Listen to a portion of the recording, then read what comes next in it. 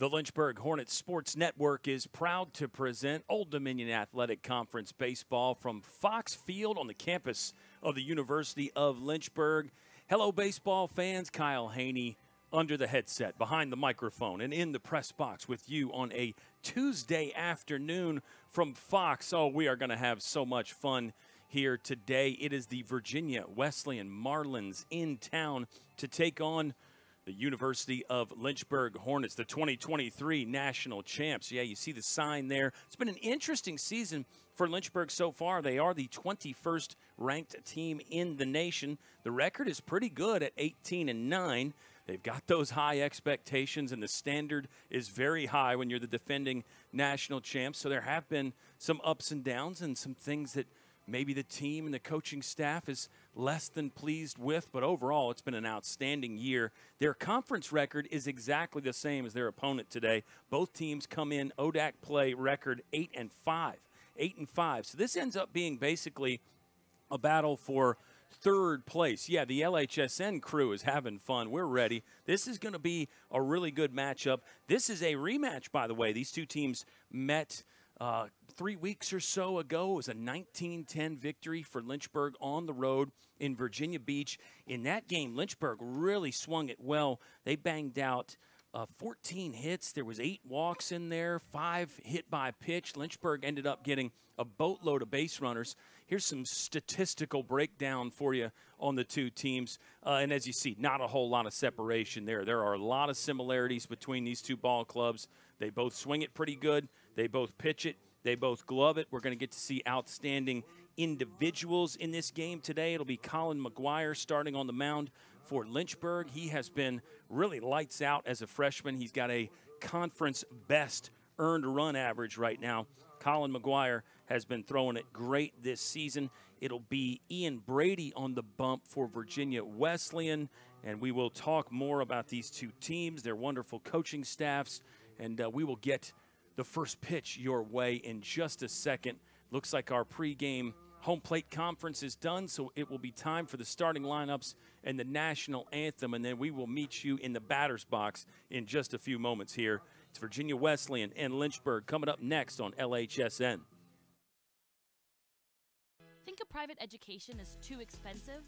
Think again. At the University of Lynchburg, you can get a personalized education for the cost of a state school. If you're commuting and you get our top scholarships, you could pay much less. And you get all that without the hassle of giant lecture halls. Our faculty know your name here and do more than just teach. You might even do research together and plan out your next career moves.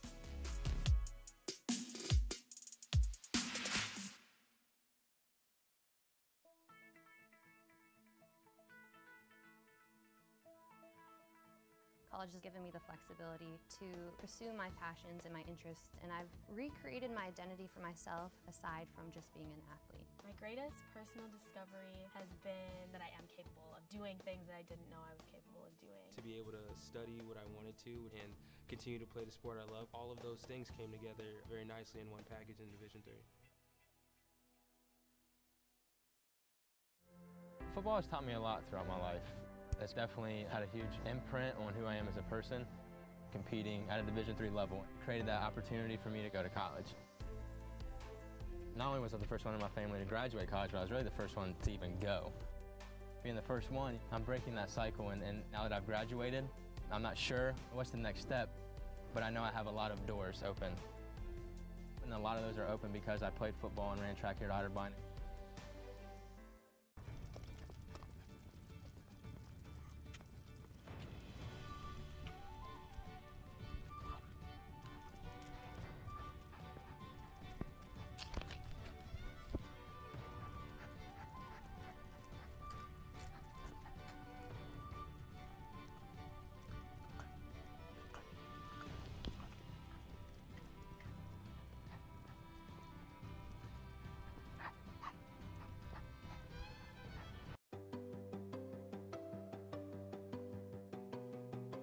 Lynchburg is all about you, your ideas, and your goals.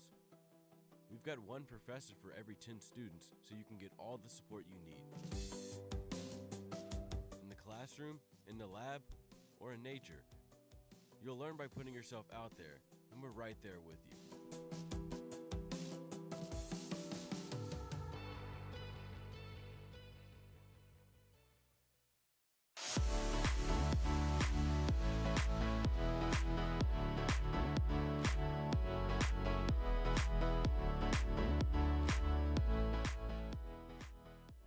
You're missing.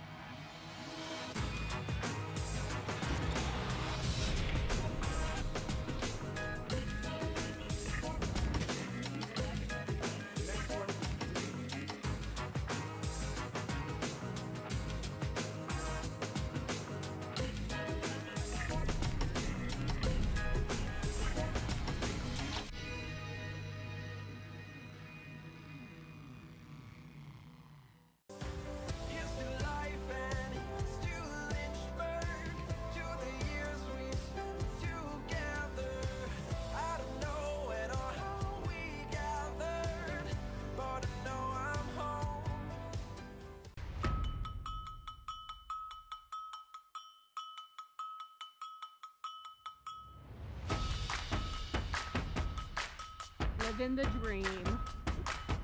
USA,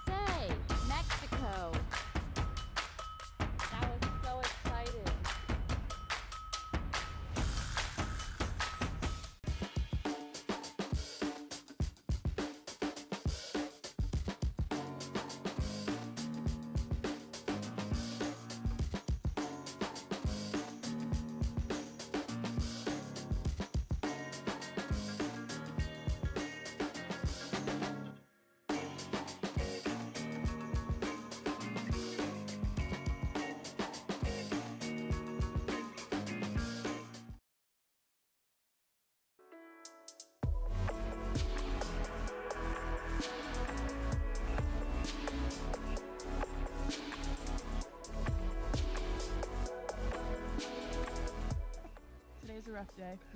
Jess and I are officially on a break. The couple canoe has broken up.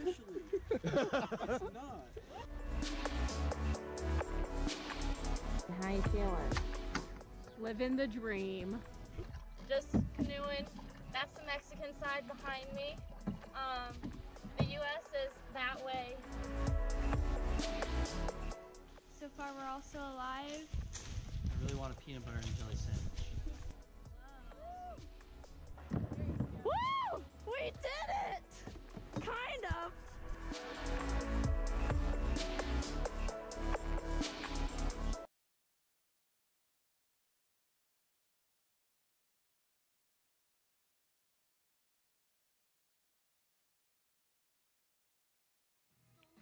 Welcome back, baseball fans. It's Virginia Wesleyan in town taking on the University of Lynchburg. Marlins against Hornets. Virginia Wesleyan 16 and 11 on the season, 8 and 5 in conference. Lynchburg is 18 and 9. They are 8 and 5 in the ODAC as well. Lynchburg 7 and 3 in their last 10. They've actually lost two out of their last three, though. Split this weekend on the road at Ferrum, and then there was a home loss against Randolph Macon last week. Virginia Wesleyan split with Averett this weekend. They lost game one, 5 7. They won game two, 14 to 6.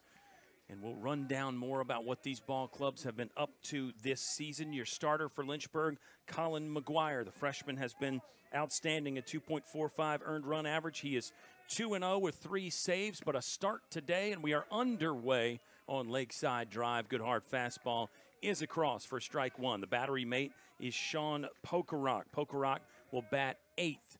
We'll go around the infield after McGuire gets a breaking ball in for strike two. It's Eric Hyatt at first base.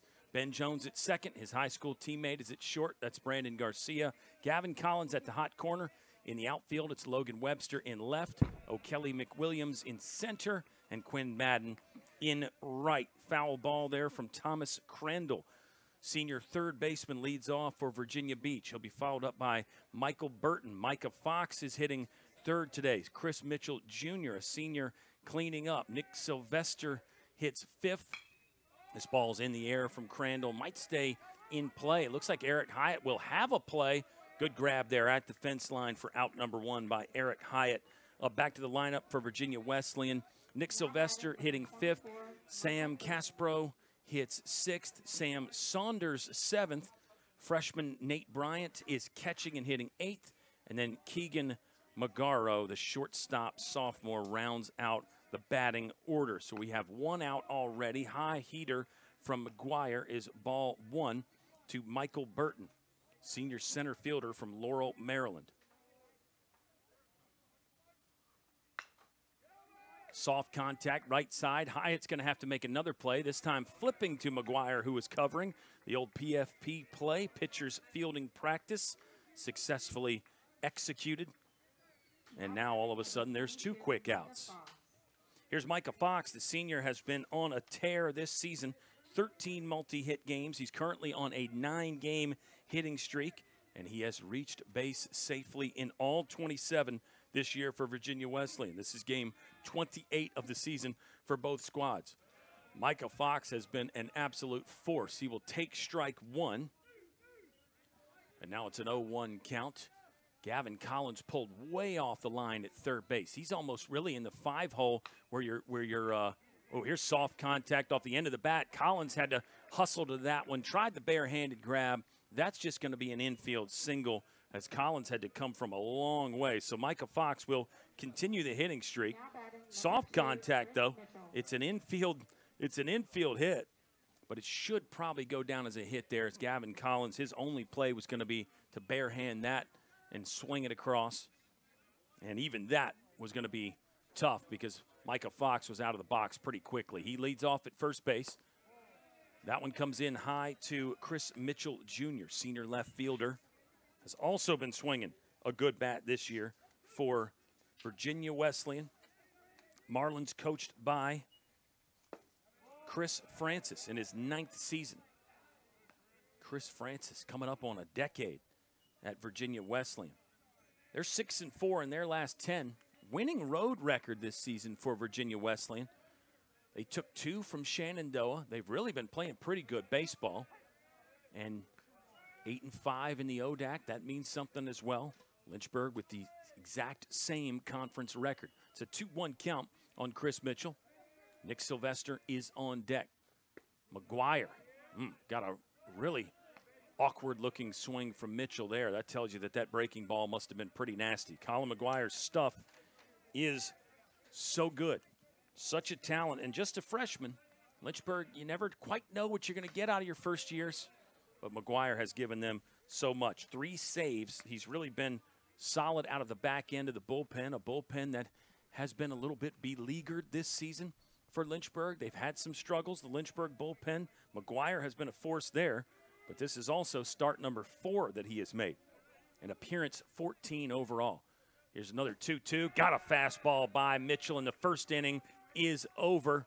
One on for Virginia Wesleyan, but Micah Fox can get no further than first base, and we'll see the Lynchburg Hornets come to hit in the bottom of the fourth, first inning, excuse me, in just a moment here at Fox Field.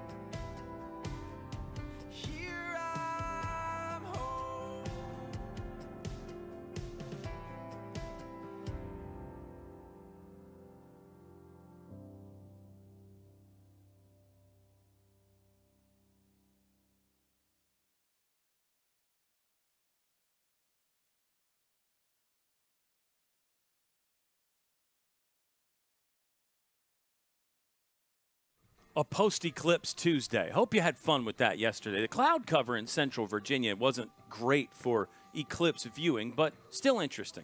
The one in 2017 uh, here in Lynchburg, anyway, got, got a little better view of that one with clear skies, and I think there was actually more totality from that one in 2017. But enough about the eclipse. Although we do reserve the right to come back to that later on. Let's talk about Lynchburg here. It'll be Brandon Garcia leading off. Ben Jones will hit second, so that's a little bit of a slight change in the batting order. O'Kelly McWilliams has been in that first or second spot much of the season, but it's Garcia and Jones, one and two again at the top for Lynchburg. Eric Hyatt will bat third, Quinn Madden fourth. Freshman Joe Munitz, who's been on a tear, is hitting fifth today and DHing. Gavin Collins sixth. Logan Webster seventh, Sean Pokerock eighth, and then the aforementioned O'Kelly McWilliams the fourth, rounding out the order. They are facing senior Ian Brady for Virginia Wesleyan. And we'll give you Brady's numbers here for this season. This will be start number nine for Ian Brady. 4.81 earned run average. He struck out 27 and only walked seven. So that K to walk ratio right there definitely tells you a lot about his stuff. We already mentioned stuff for Colin McGuire. Ian Brady clearly has good stuff. He has surrendered 21 earned runs in 39 and a third innings. It's an even count, one ball, one strike to Brandon Garcia, who has been up to his usual stuff. He has a ODAC Player of the Week award under his belt. Uh, Brandon Garcia, he hasn't struck out since March 16th. That's one you got to be careful with if you believe in the announcer's jinx. But uh, Brandon Garcia has reached base in 11 games straight. And he will reach base again as he slashes one the other way past the diving shortstop. Garcia took an aggressive turn around first, but decided to hold there. Feel sure, or, or 99% sure, that that's going to be a base hit as the third baseman, Thomas Crandall, was in the neighborhood and made some contact with the ball, but felt like feel like that's going to be a base hit. We'll wait for the official ruling. Ben Jones steps into the batter's box. Another sophomore, like his high school teammate there at first base, Brandon Garcia. And Brady holds at the waist, now throws over on Brandon Garcia, who slides back safely. Lynchburg's running game is something we've been talking about all season long. They have stolen 64 bases. They steal at an 82% clip. And Brandon Garcia is second on the team in stolen bases, 18 for 20 this season for the sophomore from Durham. Garcia has to dive back into first base again as Brady knows those numbers and knows the game plan to try to slow down the Lynchburg running game. Lynchburg's power game has been there as well. Slugging percentages up to 427.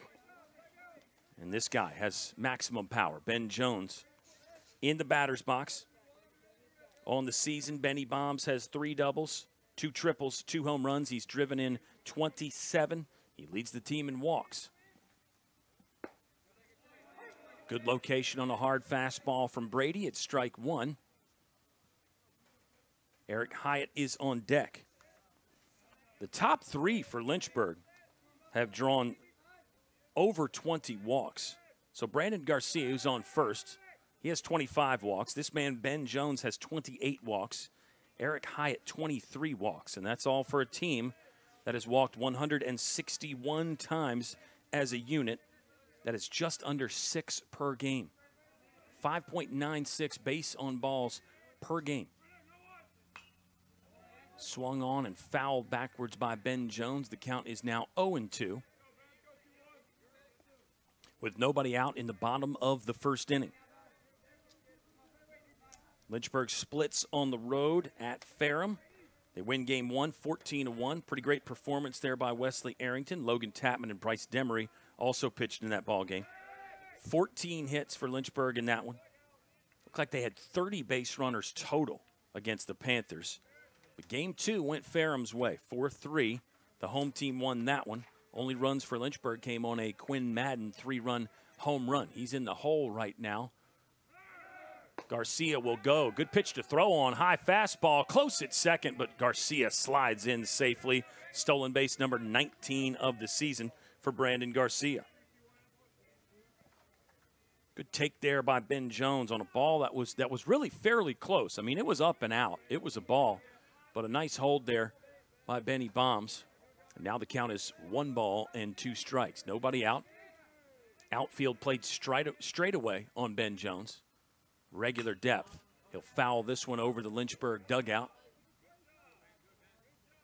Lynchburg is clad in the red tops, white pants, black helmet, black hat. Virginia Wesleyan, road gray pants to go along with the dark blue jersey for the Marlins from Virginia Beach. One two count here to Ben Jones as Brady checks Garcia. They'll spin and throw. Nice job by Garcia to play that guessing game. Oh, they called a balk. They have called a balk on Brady, and Garcia will get to third on that. Uh, so Garcia bounced off. Brady saw that, decided to pick, but in that pick, he, he must have made an action that wasn't smooth or directly in the pickoff motion. If if you flinch or the knees buckle first, then that's a balk, and that's typically what'll get the pitcher on those. I mean, you could do something with the hands; those could move also. But to me, usually usually it's something with the footwork or the lower half. Ben Jones, oh yeah, leans into this deep into right field. This ball is back. This ball is down. One bounce off the fence. Brandon Garcia will score easily. Ben Jones cruises into second base with a stand up double, and Lynchburg leads 1 0. Benny bombs with something fairly explosive right there to pump that ball to the base of the fence in right field. That was a really good swing from Ben Jones as Eric Hyatt will step in the batter's box, still with nobody out. Runner on second.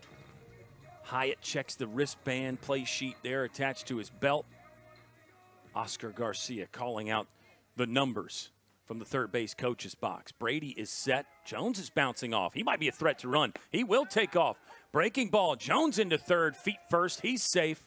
Good action there at second base. And, and that's what stealing third is about a lot of times getting some action before you take off and run. And you saw Lynchburg kind of vault or hop into that one. Ben Jones, in this case, Brandon Garcia was trying to do the same earlier. It's a big trend in today's game. And Ben Jones made it work. He's 90 feet away now. 0 1 count on Eric Hyatt. Hyatt, line drive into right field. Run will score. Lynchburg's up 2 0, and they haven't made an out yet. Call it three consecutive hits now as first Garcia, then Jones, and now Eric Hyatt. And the hits keep coming with this guy, Quinn Madden. Madden's been basically the best batter on the team from March on and, and really encompassing the entire season. He does lead the team in average. Quinn Madden, 377. Unless you count Joe Munitz, who's on deck hitting 484. We'll get into that in just a second. Madden has seven home runs. He's driven in 41. He has 40 hits. That's a team lead. I say since March on. He was a little cold to begin the season in February, but he got hot pretty quickly. It was like sticking him in a microwave, sticking one of those deer steaks that he likes in there to reheat it.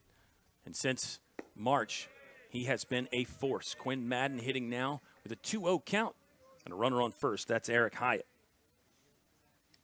Eric Hyatt, by the way, that's hit number 25 on the season. He's now driven in 24. Madden might be all in here with a 2 0 count. Got a good swing off, but fouled it away. Now it's two balls and one strike.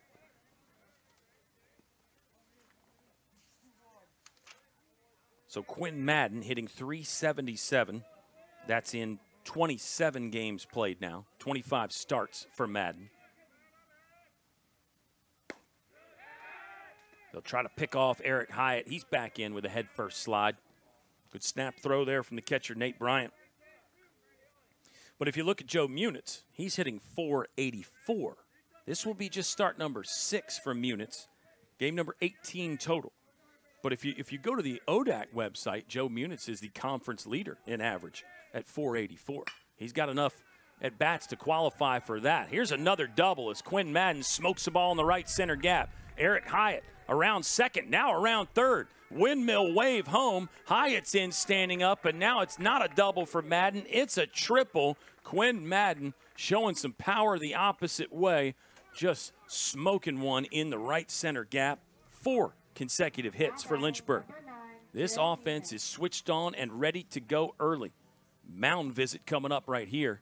Don't know if this is the end for Ian Brady or not. You couldn't fault the Virginia Wesleyan coaching staff for maybe thinking about a change here early. So far, it looks like Lynchburg has been on everything that Ian Brady has had to offer up. Brady's staying in there for Quinn Madden now. That'll extend his team lead in the RBI and hits category. 42 runners driven in now for Quinn Madden. That's hit number 41 and actually his first triple of the season. Been all homers and doubles as far as the extra base hits go for Quinn Madden. Lynchburg leads 3 0. They have not made an out yet, and now you got the hottest hitter on the team, and Joe Munitz up to swing it. Watches an off speed pitch just kind of float in the other batter's box for ball one. Four game hitting streak for Joe Munitz. Mentioned he started five. He has hits in all five starts, and he's 10 for his last 17. 588 in that span for Joe Munitz. Got four multi hit games this season. Interesting note, he's actually the only Hornet with a four hit game this season. A few other guys have three hit games, and there's a, a bunch of two hit games. But Joe Munitz is the only Hornet that has collected four hits. He'll slap this one to third, play the plate. Madden came in with a strong feet first slide. The catcher Bryant is able to hang on. Good play over there at third base by Thomas Crandall. I think he didn't really expect Madden to be running, but he did a nice job to square the shoulders up and make a throw home. Here's another look at it. Great camera work, great replay, and a correct call there at home. It's one that, as a runner, the coach is telling you whether you're going on contact or not. And clearly, Madden was going on contact, trying to put a little pressure on the defense. Lynchburg already up 3 0. I don't, I don't think you can hate that play right there. And Virginia Wesleyan just made a good defensive play. Ends up being a fielder's choice for Joe Munitz. He leads off at first. Gavin Collins hitting now with one out and a runner on first. Collins has had another successful, productive season. And it's the fourth year in a row you can say that. Joe Munitz with a dirt ball read. He'll pressure the defense and slide into second head first. Nice running play there by Joe Munitz. That is not a called steal. That is Munitz seeing that the ball is going to be in the dirt. And he's banking on the fact that the catcher will not be able to collect it and throw cleanly in time to get him out at second. And on this case, he was right. The roll of the dice paid off. Runner in scoring position now for Gavin Collins. Gavin Collins in his career has driven in 141. Four year starter for the University of Lynchburg. He was a former ODAC Rookie of the Year. 1 2 count with one out in the bottom of the first. Lynchburg leading 3 0. Wesleyan got one on, but Micah Fox was stranded at first. Munitz bouncing off. He nearly got picked. He did get picked. They'll call him out. So there's that aggression coming back to bite, trying to bounce off and extend that lead. And this time it burns the University of Lynchburg. Nice tight spin there from Brady. That's clearly something that Virginia Wesleyan has talked about. And as a pitcher, when you look to home plate, that's usually when the runner will extend that lead or try to hop off a little more. So maybe one look, maybe you could have it on a on, a, a count, a 1001, 1002. Some teams will do that. Some teams will go on a catcher's glove drop. Some some teams it's more just a feel thing. But a good play there, accurate throw. Good job by the second baseman, who in this case is Sam Caspro to sprint in there and make a, a catch and tag on the run. Okay, Gavin Collins has gotten in on the hit parade. That's five in the inning. A hard single for Gavin Collins as he barrels one up over the shortstop's head. Five hits in the inning for Lynchburg. Garcia, Jones, Hyatt, Madden, four in a row there. Joe Munitz hit into the fielder's choice and then just got picked off. And now Gavin Collins keeps the party going, at least temporarily anyway. Logan Webster hitting. His team leading 3 0 with a runner on first, two outs. Webster wants this one. That is down for a base hit. One of the softer ones in the inning, but a hit nonetheless. Six hits in the inning for Lynchburg, who has been swinging it really good as a team anyway. Lynchburg currently hitting 301. They were at 292 before the first Virginia Wesleyan game three weeks ago. The team average did get up to 304 at one point this season, but down to 301 right now. It's going to be going up again at this rate. Lynchburg, as a unit right now, is six for seven. Six for seven as a team. Sean Pokerock will watch strike one come in right down Main Street, and now it's an 0 1 count. Two on with two out. Collins at second, Webster at first. Ian Brady, senior from Olney Maryland, holds and now delivers. Slider in the dirt. Good adjust by Nate Bryant, the catcher from Philadelphia, PA, to keep that ball in front. 1 1 count. Sean Pokerock is the eight hole hitter. O'Kelly McWilliams is on deck. Pokey's been on a tear lately. He's hitting 467 in his last five games. There's a homer and two doubles in there as well. Sean Pokerock has driven in seven in the last five. Inside fastball nearly hit him. Wesleyan's going to pick off another runner. This time it's the catcher throwing to second to get Gavin Collins. Collins was back on a dive, but just an A plus throw and another running grab and tag. Lynchburg lost two runners at second base, but they had a great first inning 3 0, the Hornets lead after one complete at Foxy.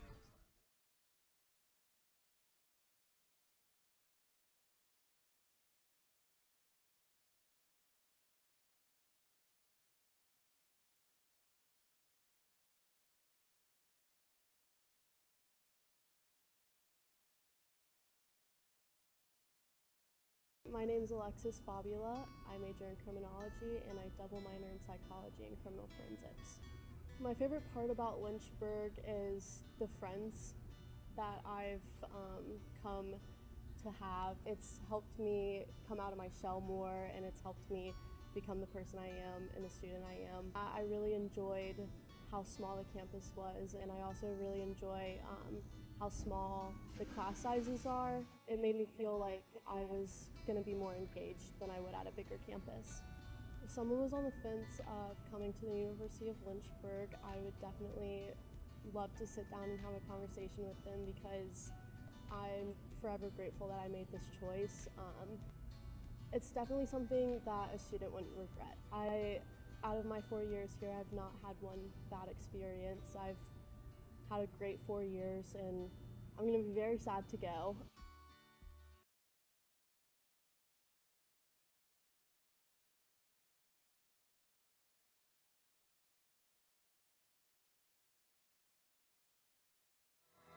All right, fans, we're ready for the start of the second inning here at Fox Field in Lynchburg. We thought we were ready. It looks like Colin McGuire, the starting pitcher for Lynchburg, may not be ready. A chat there with the head coach, Travis Beasley, and the umpire. I think possibly due to injury, Colin McGuire is going to exit this game. And I did note that Nathaniel Mack was throwing some pitches in the bullpen. Actually, right right as the game was getting going, getting going, Mack was down there in the pen throwing a little bit. So perhaps maybe Colin McGuire felt something pregame and he said, nah, I can push through it potentially. But clearly that has changed. Dane Bauer, our athletic trainers, talking to Colin McGuire right now. McGuire has not gone back yet. He just he just did step behind the dugout wall. So Lynchburg is going to have to scramble and get somebody ready fairly quickly here for the top of the second inning. Silver lining, I guess, for this is that Lynchburg has a three run lead. Lynchburg banged out six hits in that first inning. Six hits. They actually lost three runners on the bases. There was Quinn Madden thrown out at home on a fielder's choice, and then two pickoffs. Joe Munitz got picked off. Gavin Collins got picked off at second by the catcher to end the first inning. So, an interesting way to make all the outs for Lynchburg, but offensively, it seems like they are firing on all cylinders. And I think, again, back to if you're a team that runs the bases aggressively, like Lynchburg does, Lynchburg has 65 stolen bases as a team now. You're going to be okay getting picked off every once in a while. You don't really love that you got picked off twice in the inning. So it is Nathaniel Mack that will be on. And I think that's probably exactly what happened. I think maybe McGuire was feeling a little something pregame, told the coaches. The coaches then tell Nathaniel Mack, hey, just kind of stay warm just in case. And unfortunately for Lynchburg, the, the in case has happened here as Nathaniel Mack is in the game. Great to see Mack on the mound again. Return of the Mack. Big Mac, the Mighty Mac, Mac Daddy. I mean, the nicknames are just almost too abundant for Nathaniel Mack. We have to find one or two great ones and stick to that. But Mack has been outstanding this season. Nathaniel Mack is a senior from Yorktown, Virginia. The numbers on the year for Mack two and one, one save also. This will be appearance number 10. The earned run average is 4.82. He struck out eight and walked four. We last saw the mighty Mack pitching. Saw him on LHSN in the game against Methodist, a midweek game. I guess it was exactly two weeks ago today. But Nathaniel Mack last pitched for Lynchburg on the road at EMU on March 30th. So it's actually been over a week since he's gotten on the bump. This will be this will be an interesting test. It will be, as I said, a test that does feature a, a little bit of a silver lining if you're Nathaniel Mack, because you come into the game with your squad spotting you three runs already. Lynchburg leads 3-0. But you have to come in, get ready maybe a little bit quicker than you're used to. So that can be a challenge. Nathaniel Mack has been pitching out of the bullpen exclusively this season. So you feel like there has to have been a situation in the past where maybe his warm up got slightly rushed. As a reliever, you're not always going to get exactly what you want from the bullpen. And the umpires, I think, as you could see, do typically give you a few extra pitches when you have to bring somebody in in an injury situation. Lynchburg does have the bullpen cranked up as far as some other pitchers warming up now, which is smart because when you do bring in a guy quickly, you never know quite exactly how he's going to respond. Plus, this is a good Virginia Wesleyan lineup as well, so you can throw all that in there too. Nick Sylvester, junior from Cherry Hill, New Jersey, designated hitter, steps in the batter's box. He'll swing at the first one. Look like Nathaniel Mack nearly got the leather on that, but it does get through a clean four hop single up the middle. That's hit number two of the ball game for Virginia Wesleyan. Now batting number seven, Samuel Caspro. Sam Caspro, the second baseman, a senior from Annapolis, Maryland, now in the batter's box. His team trails 3 0. Nathaniel Mack is the second pitcher that Lynchburg has used. Hornets do play tomorrow, by the way, so that's going to be an interesting factor also to observe when you're talking about the pitchers. How do you manage the bullpen? Lynchburg is on the road at CNU tomorrow. That will be a key resume building kind of game. It's a non conference game, obviously, against the captains. But that's a game, if you're looking for an at large bid later on in the season for come playoff time, can really help you out. A win over CNU. Lynchburg split with the captains last year. Lost on the road, won here at Fox Field. 1 1 count. Mack pitching to Caspro. There's that slider that Nathaniel Mack features. Told us in an interview earlier this year after that Methodist game that he's really worked to try to get some more bite on that slider. Try to make it an elite pitch. Take it, take it from a B plus kind of pitch to an A plus pitch. And there are times when he really snaps off some good ones. Ball to the backhand side for Brandon Garcia. He came up throwing, but then lost the handle on the way up. Maybe trying to go for a little modified Derek Jeter play there. That's going to be a base hit and an infield single. Hit number three for Virginia Wesleyan. We said in our open that these two squads really swing the bat. Well, you're seeing it already. Nine hits between the two of them. We do not have an out in the second inning. It was a high scoring game the first time these two clubs played. 1910, Lynchburg won on the road. Bunt shown there by Sam Saunders, sophomore right fielder. Eric Hyatt, the first baseman, was crashing. Third baseman Gavin Collins stayed back. Collins will creep forward a bit now. He'll start on the grass line here with two on and nobody out. It's a 1 0 count. Mack looks in. He will fire to the bunt. It is down the third baseline. Collins on the run. Throws super smooth there from Gavin Collins. Good cover by Ben Jones to slide over and make the grab. Successful sacrifice bunt from Sam Saunders. And it brings up Nathan Bryant. Great shot there again, and a close play at first. Good accurate throw from Gavin Collins.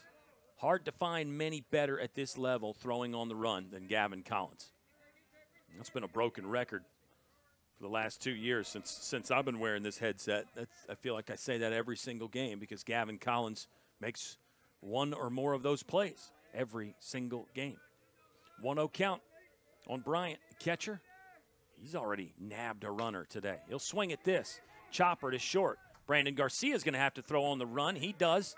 Head high fastball right at Eric Hyatt for out two of the inning, but run number one of the game scores for Virginia Wesleyan. 3 1 ball game now. Lynchburg still with the two run cushion. Keegan Magaro, shortstop. Sophomore shortstop stepping in the batter's box for Virginia Wesleyan. He is the nine hole hitter. Two outs here from Nathaniel Mack. In sort of an emergency situation, had to get hot pretty quick. Strike one. Leadoff man Thomas Crandall on deck. If you could get the bases clean and start with Crandall next inning, that would be a small win for Lynchburg. Check swing from Magaro. Did he offer? He did not, according to the first base umpire. And now it's a one ball, one strike count. Lynchburg will have Sean Pokerock back up. He was hitting to end the first inning when Gavin Collins got picked off. Outside target from the catcher, Sean Pokerock.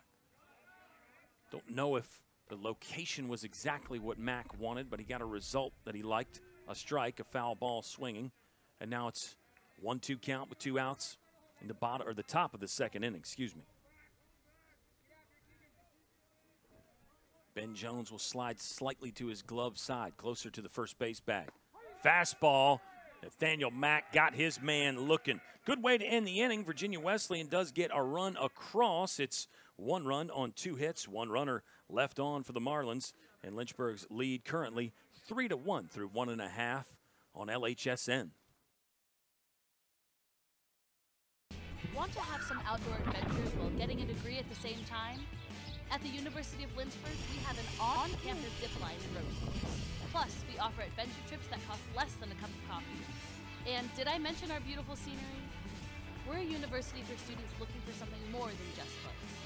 Welcome to your new adventure experience.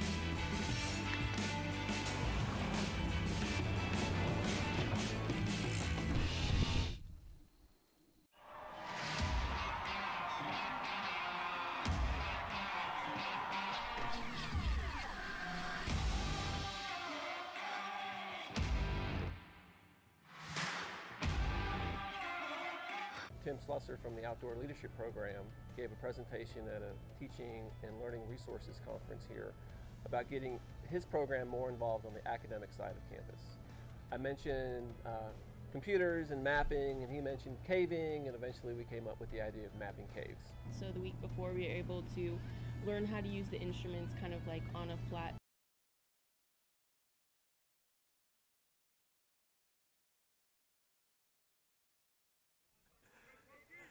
All right, we're having a blast so far. Thank you for watching wherever you are tuning us in. And we know we've got fans locked on. We'll say hello to any Virginia Wesleyan Marlin fans watching. We know you're out there. We appreciate it. We hope it's looking and sounding good for you. Here comes the catcher for Lynchburg, Sean Pokerock, leading off the bottom of the second inning. He was hitting in the first inning before Gavin Collins got picked off. One of six hits for Lynchburg in the first, Gavin Collins. Singles from Garcia, Hyatt, Collins, and Webster. Quinn Madden had a triple. Ben Jones had a double. Lynchburg leads three to one. Good response there from Virginia Wesleyan in the top of the second. No, they probably would have wanted more, but to get one across, I think you kind of clear a little bit of a psychological hurdle, and you do cut into the Lynchburg lead. There's a chopper back to the pitcher, Ian Brady, who fields successfully and throws out Sean Pokerock at first.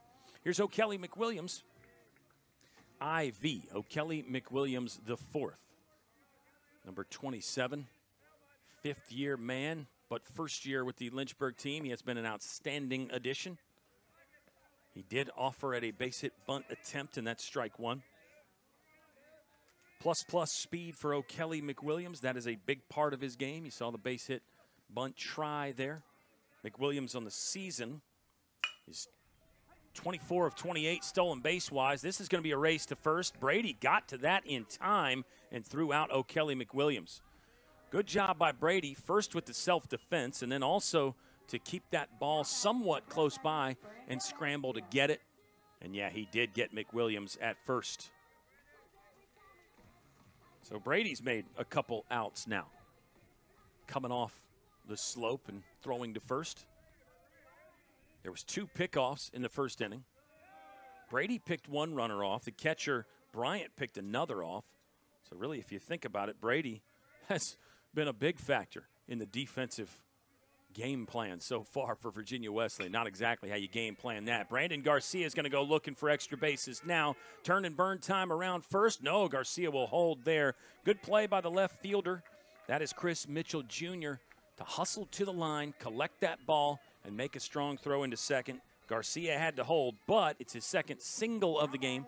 Another multi hit game there for Brandon Garcia. Didn't take him long to scratch that one off the list. Brandon Garcia has hit safely in 12 of 13. And let's check the multi hit numbers now for Brandon Garcia. Might have to wait until in between innings. Two outs with Ben Jones hitting. Ben Jones has already doubled in this game. Low and in from Brady. Good location, but not a strike. Now the count is 1 0 on the sophomore Ben Jones. One for one with an RBI double. He scored the man that leads off at first. Garcia will dive back safely. Brandon Garcia does have already a stolen base in this game today. Garcia's 37 runs are a team lead. Maybe expect that from your leadoff guy, maybe not. Still pretty impressive, I think.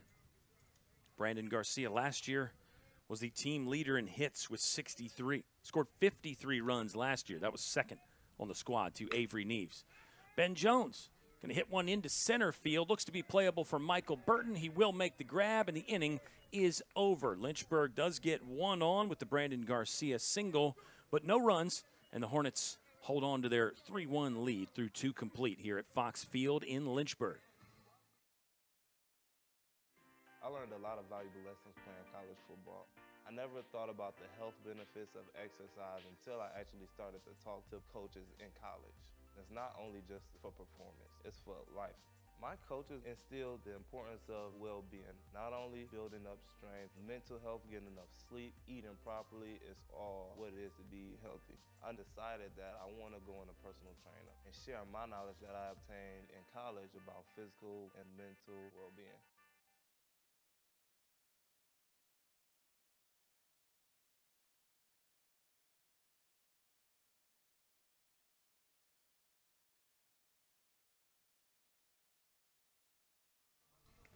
Three one Lynchburg leads on a very nice Tuesday afternoon post eclipse. Supposed to be some rain possibly today.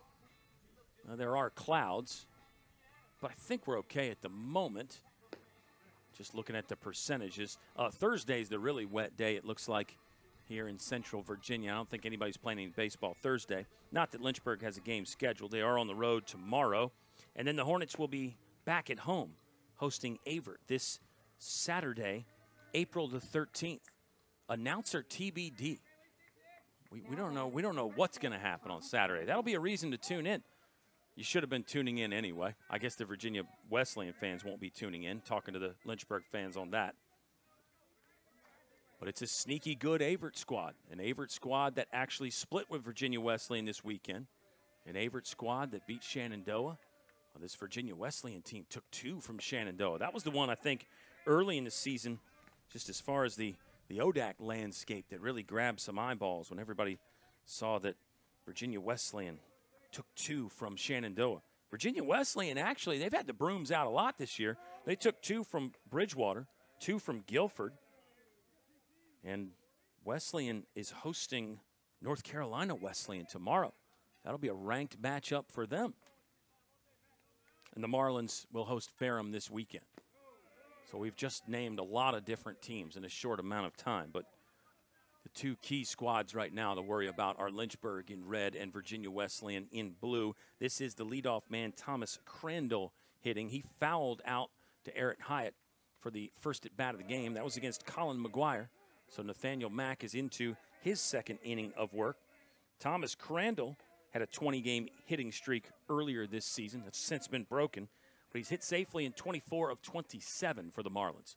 Swinging with a 3 1 count here, nobody out in the top of the third inning. Good location on a fastball there from Nathaniel Mack. And now the count is full. Crandall, a senior from Virginia Beach, already made a fine play defensively in the first inning to get an out at home. Mack went with the heater again, but that's low. Ball four. First walk Wesleyan has taken today. Obviously, it's the first one that Nathaniel Mack has issued. Say obviously because, well, nobody from Lynchburg had walked a batter just yet. So Thomas Crandall's on first for Michael Burton, senior center fielder. Grounded out to Eric Hyatt in his first at bat. Virginia Wesleyan doesn't steal quite as many bases at Lynch, as Lynchburg, but they're another team that steals them at a pretty high rate 51 swipes at an 84% clip for the Marlins. So they will run, and the guy on first, Thomas Crandall's a perfect nine for nine in the stolen base department this season. A one count as Burton swung through one. It's a fake steal from Thomas Crandall probably hear the, the call from the Lynchburg dugout. Somebody yelled out runner. That's that's the call to alert the catcher or help alert the catcher. But then Crandall shut it down after that. 1 1 count as Mack just missed. Deep breath. Now he'll spin and throw on Crandall. Keeping watch on the speedy leadoff man for Virginia Wesleyan. Micah Fox is on deck. Fox is one for one with an infield single. And a hitting streak extended for Micah Fox. Fox's hitting streak now is at 10. Still a 1 1 count. As Mack pays some attention to the runner there at first. Crandall, short lead, kind of leaning though. Don't know if Mack sensed that or perhaps he got a call. Sometimes the first baseman will have a, a call to tell the pitcher to throw over because the runner's leaning. Could have been pre-planned there as well. Sometimes as an outside observer, it's just a just a guessing game. Runner will go. Mm. Burton spun on that one and got good metal to it, but could not keep it fair.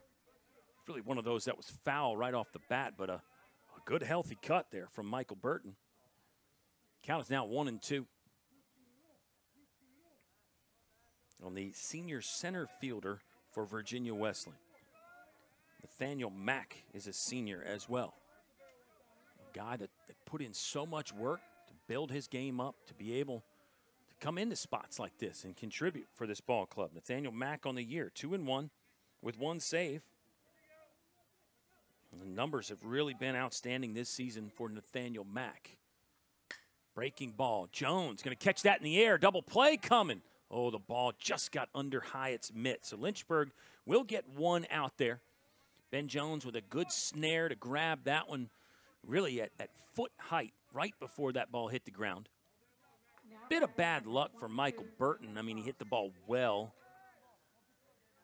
But Ben Jones was there. And there's the look. A little sidearm fling from Ben Jones.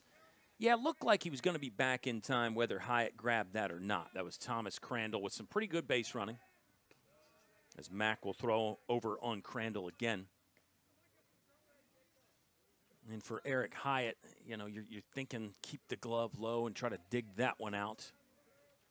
But in the end, safe probably was going to be safe anyway. Breaking ball to Micah Fox. Get the bat off his shoulder, but did not fire. And it's ball one. 1 0 count for another senior from Virginia Beach. This is a this is a veteran team for Virginia Wesleyan. First four in the lineup are seniors. Nick Sylvester is a junior. Fox will foul one away. Then you've got Sam Caspro, who's a senior. So that makes five out of the first six in the lineup are seniors. Then you have sophomore Sam Saunders. Nathan Bryan is a freshman catcher. Keegan Magaro, sophomore shortstop. Starting pitcher Ian Brady is a senior. Mack with another deep breath. Now he delivers. This one's hit right at Brandon Garcia, who was playing up the middle. He'll take the first one himself, jump over the runner, and complete the double play. Nice job by Hollywood. Little extra effort there on the grab, sprinting to the bag, and then leaping over the runner. Ozzie Smith style right there from Brandon Garcia. Do it, Hollywood. Lynchburg gets out of the inning unscathed.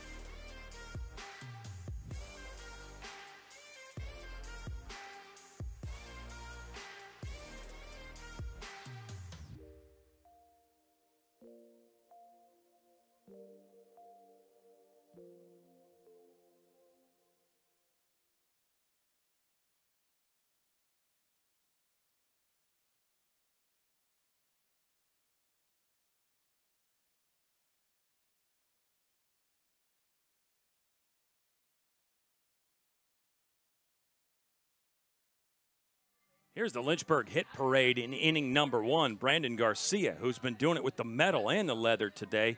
Quinn Madden, Gavin Collins, all total. It was six hits in inning number one for Lynchburg. They score three runs.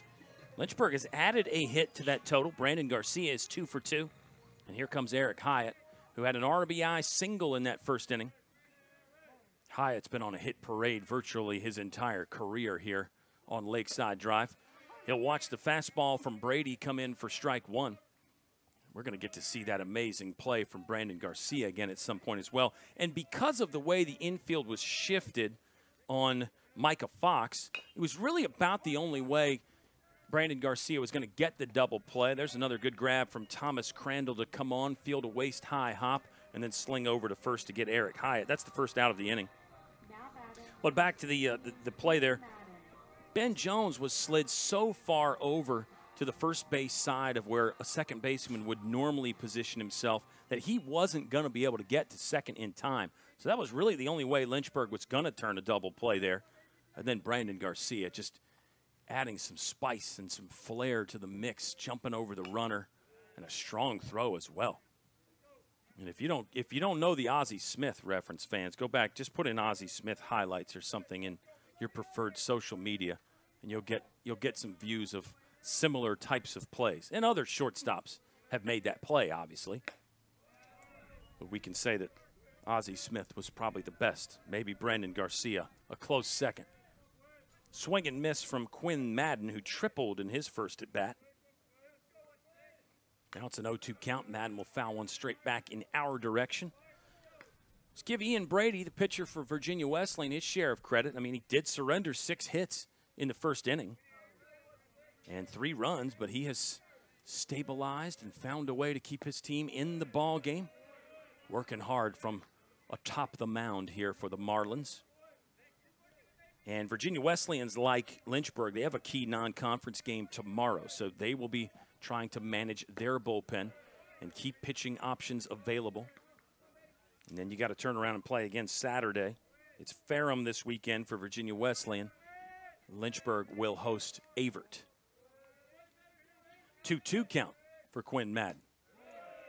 Almost sniffed at the fastball that was low and away, but did hold up, and now all of a sudden it's three balls and two strikes. With one out, we are in the bottom of the third inning. Kyle Haney having a blast with you. Our LHSN team is elite, and the rest of the press box crew seems to be enjoying themselves as well. I think. Maybe I shouldn't maybe I shouldn't try to get inside everybody's head. That's what I do sometimes. I just assume everybody's having a blast like me. Full count again to Quinn Madden. This is a long at bat. It's going to be over here, though, as Madden will float one to right center field. Michael Burton tracking it and pulling it in for out number two of the inning. Now batting number nine, Joe Muniz. And as more and more batters get retired, you got to give Ian Brady even more credit considering the duress that he was under in inning number one. He really had his back to the wall, but he's punched himself off of it and still in the fight here in the bottom of the third inning. This is Joe Munitz, fielder's choice in his first at bat. Hit a ball to the third baseman. Munitz coming into the game had been hitting 588 in his last four. It's a four game hitting streak for this freshman. So much young talent for Lynchburg. Talked about the veterans for Virginia Wesleyan. Lynchburg does have some veterans for sure. Gavin Collins is a senior, but he's the only senior in the starting lineup. O'Kelly McWilliams, uh, interesting category for him because he's a fifth year, but it's first his first year for Lynchburg. Two hopper to the second baseman from Munitz. He will not beat the throw out at first, and it's a three up, three down inning for Lynchburg. First one of the game. Ian Brady continues to settle in for Virginia Wesleyan. The Hornets do lead three to one through three complete at Fox Field. Think a private education is too expensive? Think again. At the University of Lynchburg, you can get a personalized education for the cost of a state school. If you're commuting and you get our top scholarships, you could pay much less. And you get all that without the hassle of giant lecture halls. Our faculty know your name here and do more than just teach. You might even do, do research together and plan out your next career moves.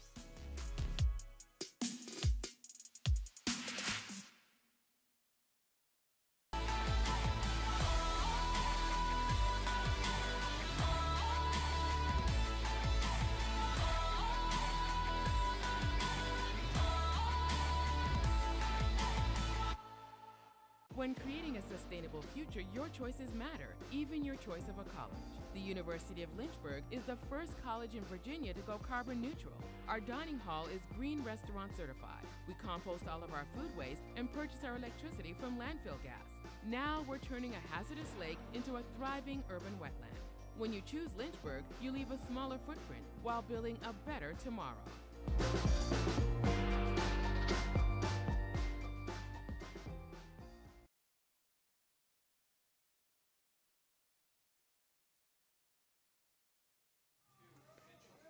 Here's the play to end the third inning. Brandon Garcia with a field, a sprint, tag with the foot, and then throw to Eric Hyatt at first base.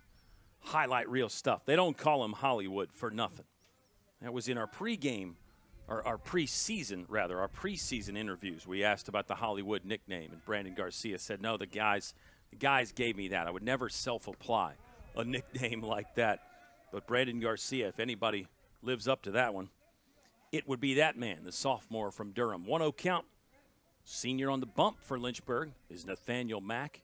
He comes set facing Chris Mitchell Jr. Left fielder struck out in his first at bat. That was against Colin McGuire. McGuire did start this game. And, you know, didn't really see anything from his performance out of the ordinary. McGuire gave up one soft single in the first inning, but he came back out to warm up in the second inning, and Colin McGuire just kind of looked at the dugout and Coach Travis Beasley and said, "It's I can't I can't go. It's not there." And hopefully that is not an injury that will keep McGuire out long term. Here's one to Gavin Collins that he will field and kind of study the seams, get the grip, and fire to first base for the initial out of the inning. Nick Sylvester is actually the first Wesleyan hitter to face Nathaniel Mack. That was to start the second inning. So Mack had to get ready on short notice, and, and I say that there's a bit of a caveat to that because Nathaniel Mack was warming up a bit just to begin the game. He was over there getting some tosses in the bullpen. So he, he, he would not have been completely cold when he went back out to warm up again. But still, as a pitcher, you like that routine. Most pitchers don't like to be rushed and pressed into service like that. You always want to feel comfortable with your warm up. And, and I would say those guys that can can get it done in an uncomfortable situation are the ones that do tend to make better relievers. Starters, they never like to be rushed. They are very routine oriented typically. Again, typically, there's always an exception, right, fans? We're all different. Sword kind of a swing there from Nick Sylvester as he was out in front on Nathaniel Mack's slider. And the count is one ball and two strikes. Gavin Collins will lead off for Lynchburg in their half of the fourth inning. Ground ball, left side, Garcia throwing low angle arm slot, no problem on target for out number two of the inning. Another one where Garcia was shaded up the middle like he was on that double play. But the foot speed, the athleticism, he gets to that ball and makes a really good throw on the run. As Sam Kasparov steps up with two outs, no runners on. Another look at the mighty Mac. Always pitches with the shades on, even on the cloudy days like this. It's almost a rare windless day here at Fox Field. Usually we're always talking about the wind, what direction it's going. Flag is is billowing just slightly as I say that. But I, I don't think the wind is much of a factor today like it can be and so often is. 1 1 count on the second baseman, Caspro, a senior from Annapolis, Maryland. Infield pretty much straight away this time. Lynchburg doing sort of a modified shift on those lefties, uh, thinking about Sylvester and Fox, where Garcia, the shortstop, is stationed a bit more up the middle, and Ben Jones is slid to the pull side. One two count. Mac is set. Here's the pitch. Slider just missed. I think Mac broke that one off like he wanted to. Kasparov just doing a nice job to not pull the trigger and go fishing on one that was just off the plate. Deuce is wild now. Two balls, two strikes with two outs. Rock, low and away setup. Here's the pitch. Mac went there with a fastball, and that bounced off of Kasparov on the swing. So we'll get to try it again. Sophomore Sam Saunders is waiting on deck for Virginia Wesleyan. He had a sacrifice bunt in his first at bat that moved the runners up. Virginia Wesleyan did get their only run of the game on Nathaniel Mack in the second inning. It's a 3 1 ball game. We're in the top of the fourth right now. Mighty Mac set again. Here's the kick and fire. Fastball just missed the corner again. Really good pitching there from Nathaniel Mack and I would argue equally good hitting from Kasparov. He's laid off a couple close ones. He fouled off a nasty pitch as well. It all builds to this. Payoff coming right here. The senior fires in, breaking ball. Kasparov elevated. This ball's going to stay in play. Sean Pokerock will try to run it down. It hit the mitt twice and caromed out. Tough play there for Pokey. Tough sky. You could tell the way the guys were looking at it. I think Pokerov or uh, Sean Pokerock did not quite identify it right off the bat. Those are hard to find as a catcher anyway. And then if you got uh, some clouds in the sky like today, makes it even that tougher. He ended up getting the leather to it, but it wouldn't stay in for an out. So now we'll try the full count delivery again. Nathaniel Mack to Sam Caspro. Along at bat. Does it end here? Yes, it does. Slider from Nathaniel Mack. He lets out a big roar. It's another strikeout for the Big Mac, and Lynchburg will move to the bottom of the fourth inning, looking for more runs against the Virginia Wesleyan Marlins.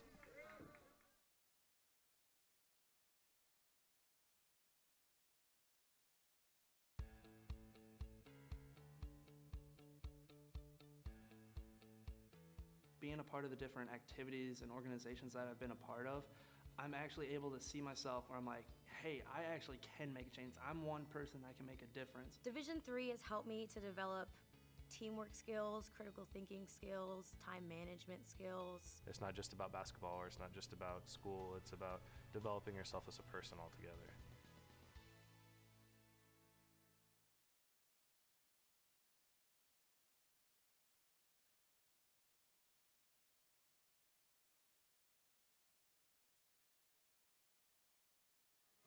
The camera work today is absolutely elite. Top tier, A plus. Any other analogies you want to use, throw them out in the chat if you want to. We need to expand our vocabulary. We need a, we need a quiz. We need a trivia question today. We're going to get the director of athletic communications, Tim LaDuca, to provide us with another cool trivia question today. As you really are. You get hey, Josh Jorman giving the umpire some water. You always got to keep the umps on your good side, right? Uh, well, typically that is kind of the home team's responsibility. Although Lynchburg's dugout's just closer to that umpire, maybe the umpire at first, Virginia Wesleyan, should bring him something to quench the thirst here. A very nice spring afternoon.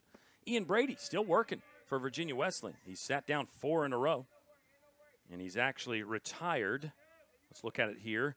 Six of his last seven. A Brandon Garcia single is uh, the blip in the radar here for the last few innings for Ian Brady, who surrendered six base hits in inning number one, but he has really settled in.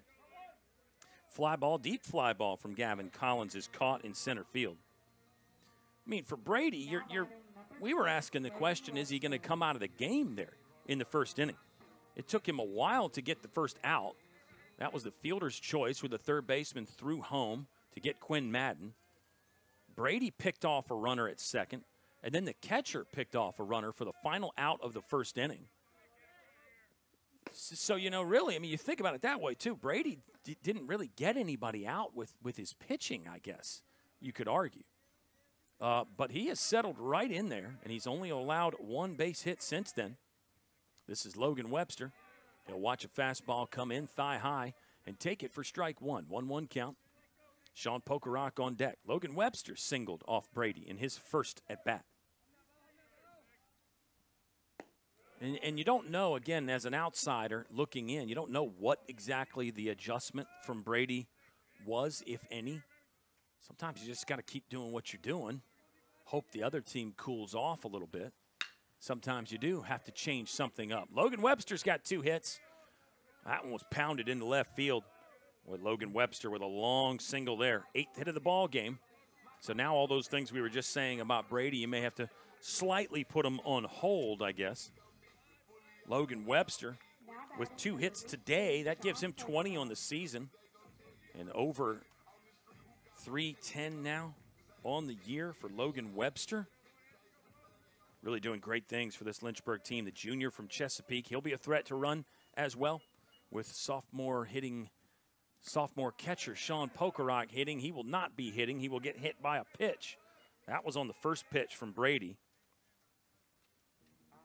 Brady has yet to walk or hit a batter, so that's that's the first free base runner that he has offered up. And Lynchburg continues to get hit as a team at a pretty high rate.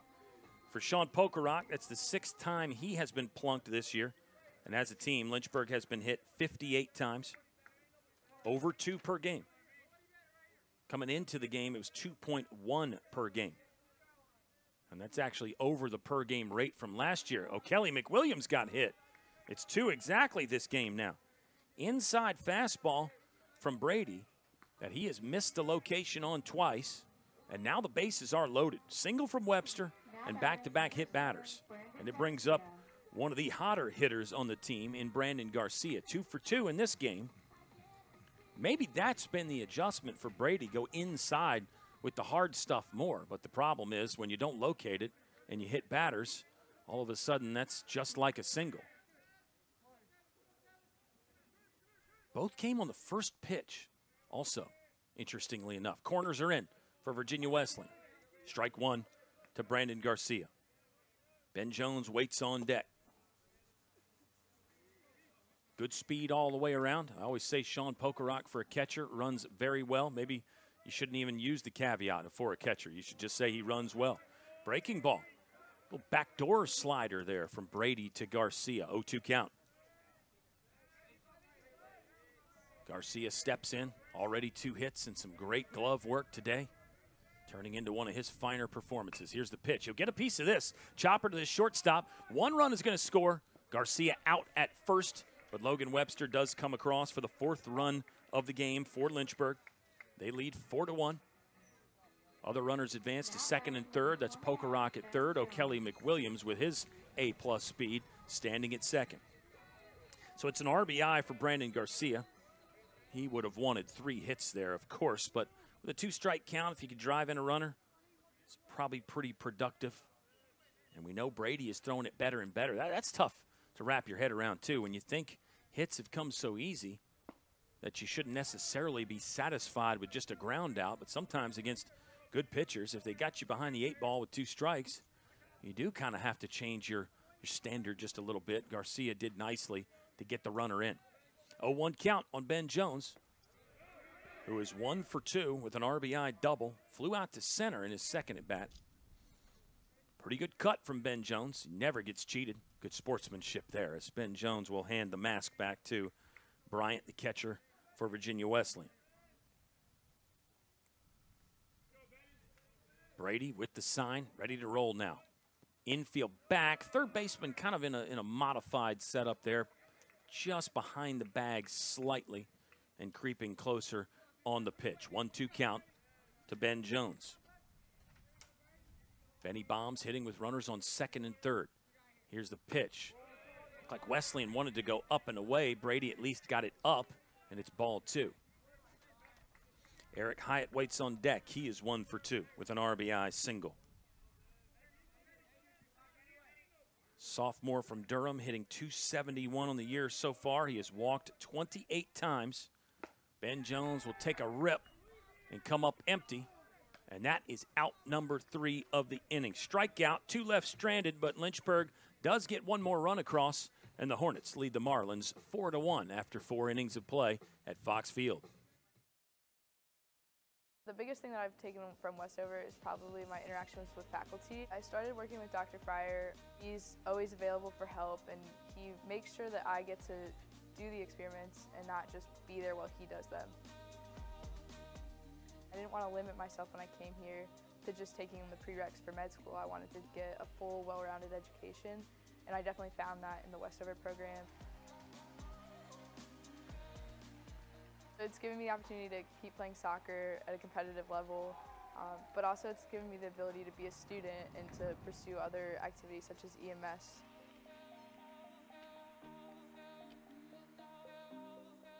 hundred percent do Westover because it's not something they're going to regret and it's going to be a lot of work but so is everything else it's just going to help build their education that they've already had and make them a better person for it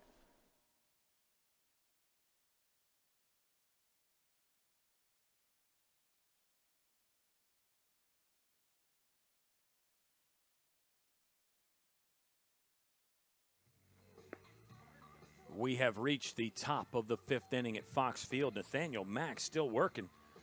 He came in on short notice in the top of the second inning, Mr. Mack, in relief of the freshman Colin McGuire. And, and hopefully nothing serious with McGuire, obviously, because I think I used the term beleaguered about that Lynchburg bullpen. They've had some injury issues this year, as really all teams are going to go through some injury issues. We've pointed that out. But Lynchburg's had their share, and maybe maybe a bit more than they think what their share should be. So the health from this point forward will be something to keep an eye on.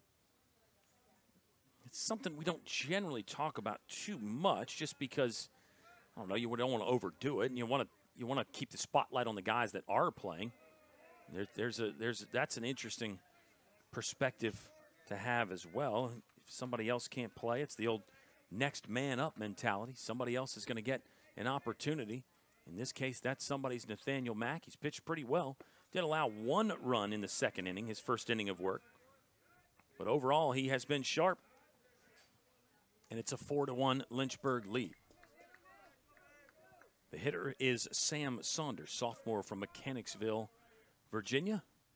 Facing Nathaniel Mack, his second at bat against Mack. He had the sacrifice bunt in that inning. It was back to back singles to open things up in the second for Wesleyan. They bunted the runners up, and then catcher Nathan Bryant, who's on deck, he had a 6 3 ground out to bring in that run. Mack struck out Magaro to end the inning. Nathaniel Mack has two punch outs so far today, looking for a third right here with a 1 2 count. The pitch was a slider, low and away for ball two. Lynchburg will have 3 4 5 due up in their half of the fifth inning. That'll feature Eric Hyatt leading it off.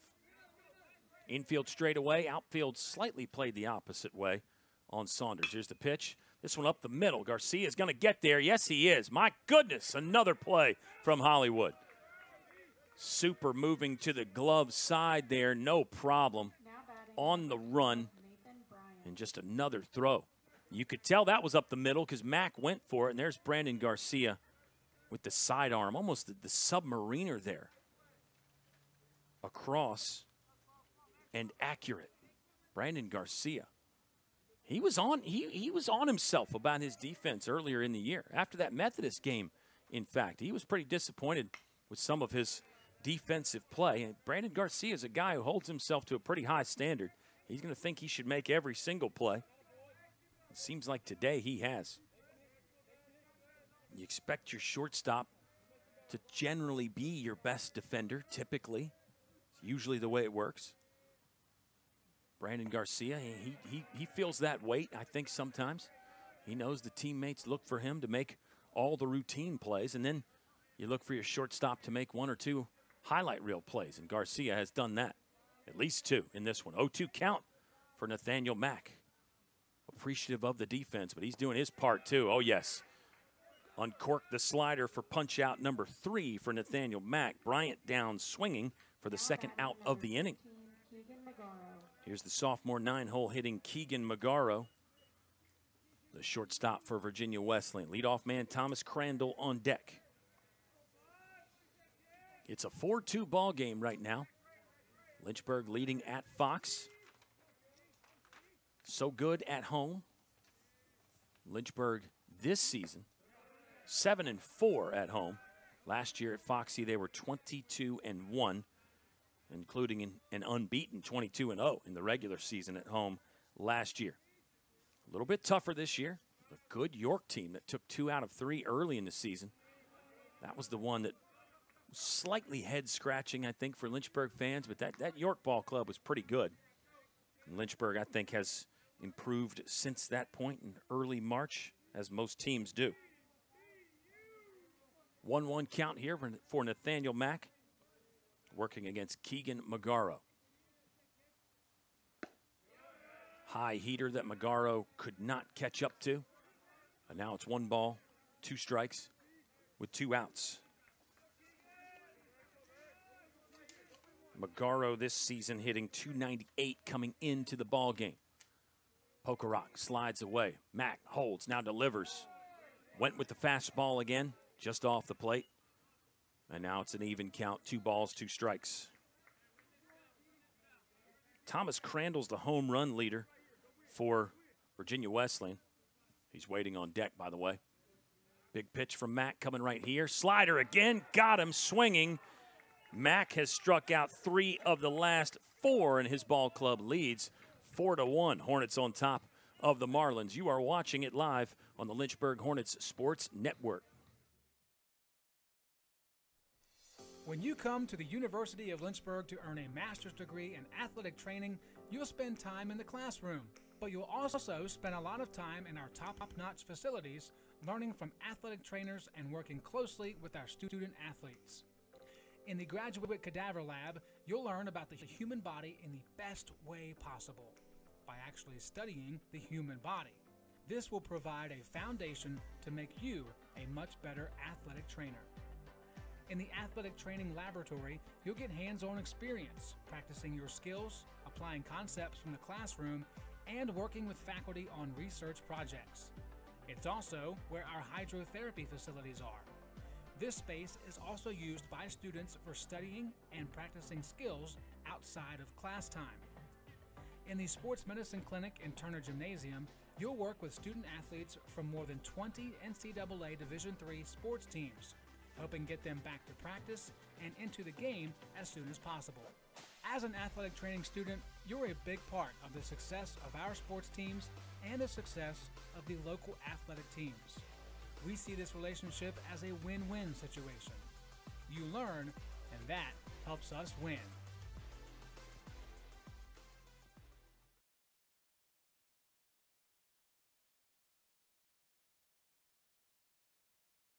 All right, a new pitcher for Virginia Wesleyan. Ian Brady did great things after that first inning, but he will give way to Anthony Roscoe, sophomore, 6'3 from Chesapeake, Virginia, number 50 is on the bump for the Marlins. They trail at the moment, four to one. The ball's got some life out of the right hand of Anthony Roscoe. You can see that just in the warm-up tosses. This is appearance number 14 for Anthony Roscoe. That is now tied for the team lead. Earned run average is 4.30. He's 0 2. He does have one save. Another guy that's got a great K to walk ratio, 29 punch outs to just 19 free passes for the sophomore from Chesapeake, Virginia. And he will face a junior from Woodbridge, Virginia, Eric Hyatt. Leading off the bottom of the fifth for Lynchburg, he'll watch a fastball come in low but over the plate for strike one. Quinn Madden on deck. Hyatt's one for two. Madden's one for two. Joe Munitz in the hole. He is 0 for 2. Munitz looking to continue his little mini tear that he has been on the last couple weeks. I think we just got a look at the breaking ball from Roscoe. But it is ball one, and it's a 1 1 count. Lynchburg got three in the bottom of the first. That was on six hits, none in innings two and three, one in the fourth. And now we are in the fifth inning here. Virginia Wesleyan got their lone run in the top of the second. Nathaniel Mack has pitched four really good innings for Lynchburg in relief of Colin McGuire.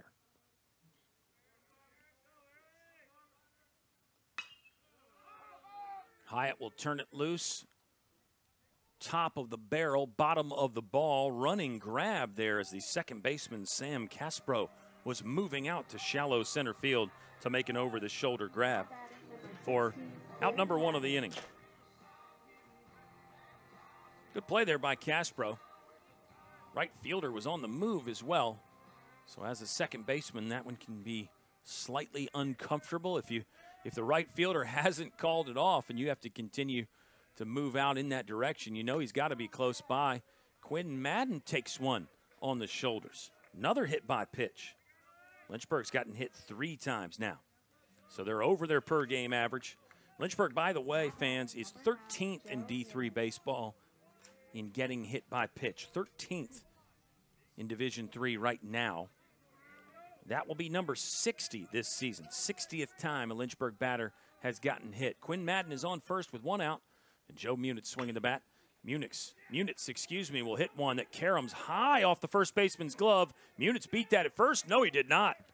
They called him out. That was a ball that Munitz hit well. It bounced off the glove of Micah Fox, airborne. And yeah, took the cameraman a, a, second to find it. And then the second baseman makes the grab, flips to first. Ooh, you be the judge, fans. You be the judge. As Gavin Collins will now hit with a runner on second. Quinn Madden moves up 90 feet. Tricky play there for Micah Fox. Give the second baseman Sam Caspro some credit for staying with that and unloading as quick as he could. Fastball just above the belt for strike one to Gavin Collins. Gavin Collins is one for two in this one. Collins, 176 hits in his career now. 58 of those are extra base hits. The knock today was a single. Here's a ball in the dirt that got by the catcher. It'll skip towards the Lynchburg dugout. Madden took a turn there, but Bryant hustled over to get it. And now Quinn Madden 90 feet away from scoring Lynchburg's fifth run of the game. Right now, it's a 4 to 1 Lynchburg lead. Hornets in action tomorrow on the road at CNU, taking on the captains in Newport News. And then they're back at home hosting Averett at Fox this Saturday, April 13th. Hope you can come out to the ballpark and see it in person or watch it on LHSN. Fastball, good slide and stop by Bryant as Roscoe is forcing the catcher, Nate Bryant, to stay pretty busy back there. Collins has got a 2 1 count. Here's the pitch. Uh oh, look out. Gavin Collins leans into this one. Long run in left field, but the grab is made just shy of the warning track. Nice catch by Chris Mitchell. He made that look pretty easy. Gavin Collins just missed a long one, and Lynchburg just missed, expanding their lead. Right now, Hornets on top, four to one. You are watching Lynchburg baseball on LHSN.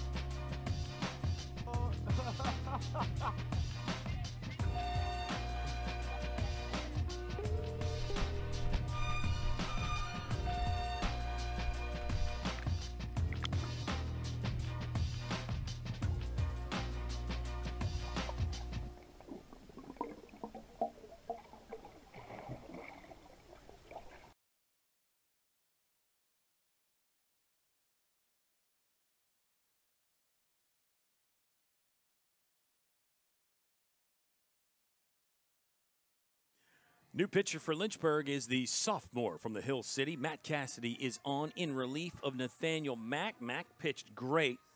For Nathaniel Mack, this is an unofficial line, but I think it's four innings, two hits, one earned run. He struck out four, including three of his last four. Nathaniel Mack deserves high praise for that one. And now it's Matt Cassidy's turn on in relief of Mack with his ball club leading four to one. We're through five complete. Cassidy will face the top of the order. Thomas Crandall, the home run leader. Leadoff man is 0 for 1 today. He popped out to Eric Hyatt in foul territory to open the game. Crandall walked in his last plate appearance for the sophomore, Matt Cassidy. This will be, let's go to the numbers here. This will be appearance number three for Cassidy. Up to this point, he has pitched one and one third inning, surrendered just one hit.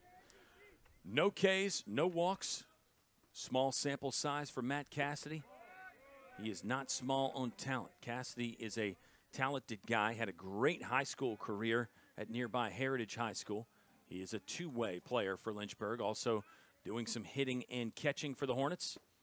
And he was big in that postseason run last year he did have some moments on the field, big for that, but also just for what he brought to the team as a bullpen catcher, but then also with the ability to eat up some innings as a pitcher. Really high value when the NCAA makes you shorten down your roster a little bit in postseason play. You need some guys like that. Cassidy was that guy. He's a team first kind of a guy, but as I said, loads of talent as well. He's across for strike two. The count is even at two and two with nobody out to Thomas Crandall, senior from Virginia Beach. Lynchburg's got 7 8 9 due up in their half of the sixth inning. No way. Garcia again. No, this one's not in time. Just the fact that he slid into that and got the glove on it's pretty impressive. I thought Brandon Garcia had another highlight reel play. Instead, this is just going to be an infield single for Thomas Crandall looks to be hit number four for Virginia Wesleyan. They did not have a hit since the second inning. A lot of that due to the great things that Nathaniel Mack was doing. Cassidy will look at the runner as he comes set. Michael Burton, the center fielder, hitting now. Fastball low and away. It's ball one to Burton, who is 0 for 2 today. Grounded out to first and hit a line out to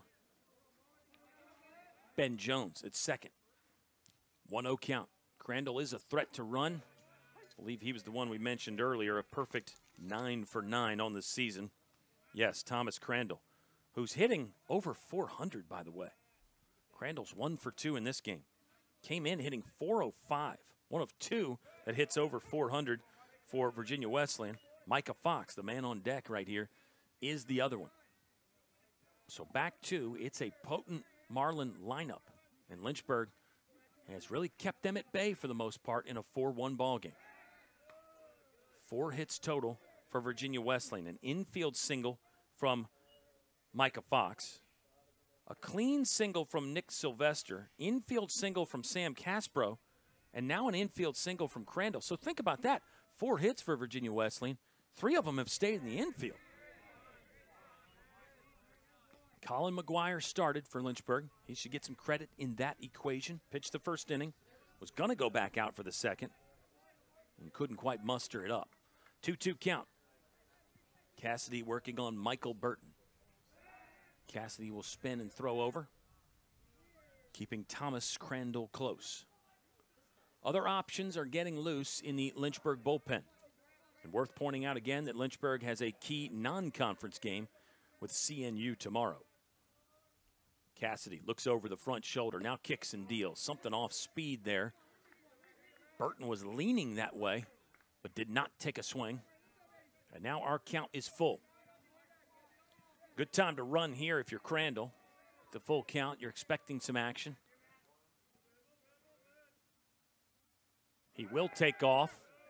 Check swing, but a hold again from Michael Burton. And that is a walk. So Cassidy yet to get an out. Gave up an infield single to Crandall, who's now on second, and just walked Michael Burton. Here comes Micah Fox. Fox is one for two. He grounded into that electric double play where Brandon Garcia fielded it, stepped on the bag, and then hurdled the runner while throwing across to first base. Fox has one of those infield singles. You just get the feeling that he's he's ready to bust out and do major damage. Came into the game hitting 410. 10 doubles, one homer. He's driven in 23. Cassidy looks at the runner. Got a piece of that ball that was back at him from Fox. Brandon Garcia has it. He'll throw into third to try to get the runner taking a big turn. Crandall's back in time, but guess what? It's another infield single. Call it four infield singles now. And that one was hit well. I mean, calling that an infield single maybe doesn't give Micah Fox the credit he deserves. I mean, that ball was hit sharply. But the bases are loaded with nobody out. In a 4 1 ball game, this could be a key moment right here. This really is the key moment up to this point. I guess you would say the bottom of the first, where Lynchburg got the six hits, also key. A swing, I think, caused Pokerock to lose sight of that baseball. And then it went to the backstop, but Crandall could not advance. That could have been worse for Lynchburg. Nobody out here in the top of the sixth inning. I think, think it's an 0 1 count. I think that was a swing there from Mitchell. There's a strike from Cassidy. Called strike. Yeah, it's 0 2 now. Nobody out. Cassidy should still feel pretty good about what he's doing, but you'd really like to see a ball hit right at somebody or maybe a punch out right here. Here's the pitch. Planned off the plate there. Good job to execute the setup pitch. Let's see what Cassidy follows that up with. 1 2. This is Chris Mitchell, by the way. Senior is 0 for 1 with a strikeout in this game. Pokerock slides out. Here's the pitch. Breaking ball. Mitchell laid off. Just wasn't quite close enough. You could see from Cassidy's body language after the release, he didn't quite love that one. Counts even at 2 and 2. Hyatt's in on the grass at first. Gavin Collins even with the bag at third. Double play depth in the middle.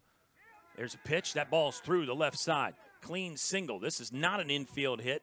Logan Webster bobbled, but he managed to bobble it forward, so that made it difficult to advance the next runner. But it's a run scored and a 4 to 2 Lynchburg lead now. 4 to 2. No outs yet in the sixth inning. Cassidy has given up three singles. Two of them infield singles, but I guess that's enough for Coach Travis Beasley, and Lynchburg is going to make a move. We'll greet a new arm here in just a moment. It's a 4 2 ball game. Marlins still threatening here in the top of the sixth inning at Fox Field in Lynchburg.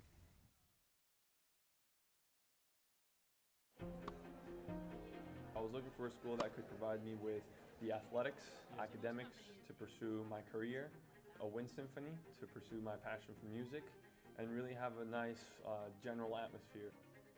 The professors here are really unique, they, their background and their passion for teaching. It's really a place where you can explore. Uh, it, Lynchburg gives you the opportunity to fail, but also get back up in that period of time and, and learn from your mistakes. I can make these mistakes within the school environment, but also uh, with the support of other friends and be ready for the real world when you graduate.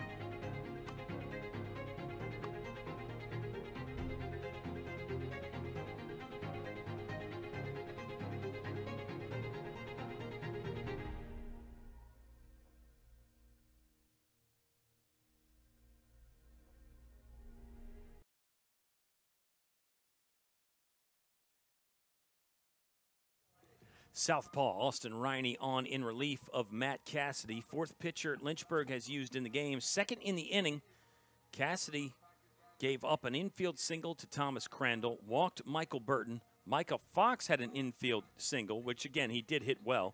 And then Chris Mitchell with a clean ball through the infield to score Crandall. Bases are still loaded with nobody out in the top of the sixth inning. So this is basically what Lynchburg did in their half of the first inning. Lynchburg had four consecutive base hits. They had six hits in the inning. Is that the big inning that Virginia Wesleyan is getting ready to have. We will find out. Austin Riney will do his best to try to slow down this Marlin wave here that might be cresting for Austin Riney. 5.03 earned run average. He is 2 and 1 on the season. This will be appearance number 14 for Riney. That is a team lead. A sophomore who did not pitch much last year, but because of what he did, just just getting himself better, how he developed his game, what he showed in the fall, I think we knew he was going to be a key piece of the bullpen this year. But again, with some of those bullpen injuries, maybe we didn't know Riney was going to be this key or have to pitch this much. 1 0 count to the lefty, Nick Sylvester. Sylvester checks the swing, but it's a called strike. He is one for two. Sylvester has now faced, uh, well, he faced Nathaniel Mack twice. So this is the second hitter that Nick Sylvester has faced. He took a massive rip at that. Good cut from Sylvester. It's a foul ball and a 1 2 count for Nick Sylvester on the season. 345 hitter, two homers, one double. Will be start number 15 out of 28 for Sylvester. Breaking ball, pulls it high, it's there. Going to go to second, got to hurry. It hit the runner. Ball is just kind of free right now, but the runners cannot advance. Eric Hyatt tried to get the runner at second. That was going to be close, but because of the way the runner slid in and where the throw ended up going, it hit the back of the runner on the slide.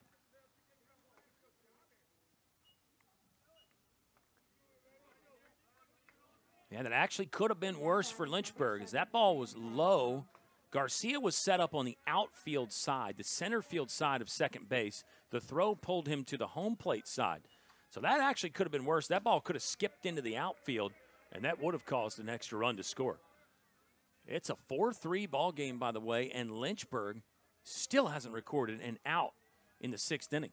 Tying runs at third base. Bases are loaded for Sam Caspro. Bases loaded here situation. It's a 1 1 count now. Austin Riney, the sophomore, facing senior second baseman Sam Caspro. Big innings are such a part of our game, aren't they?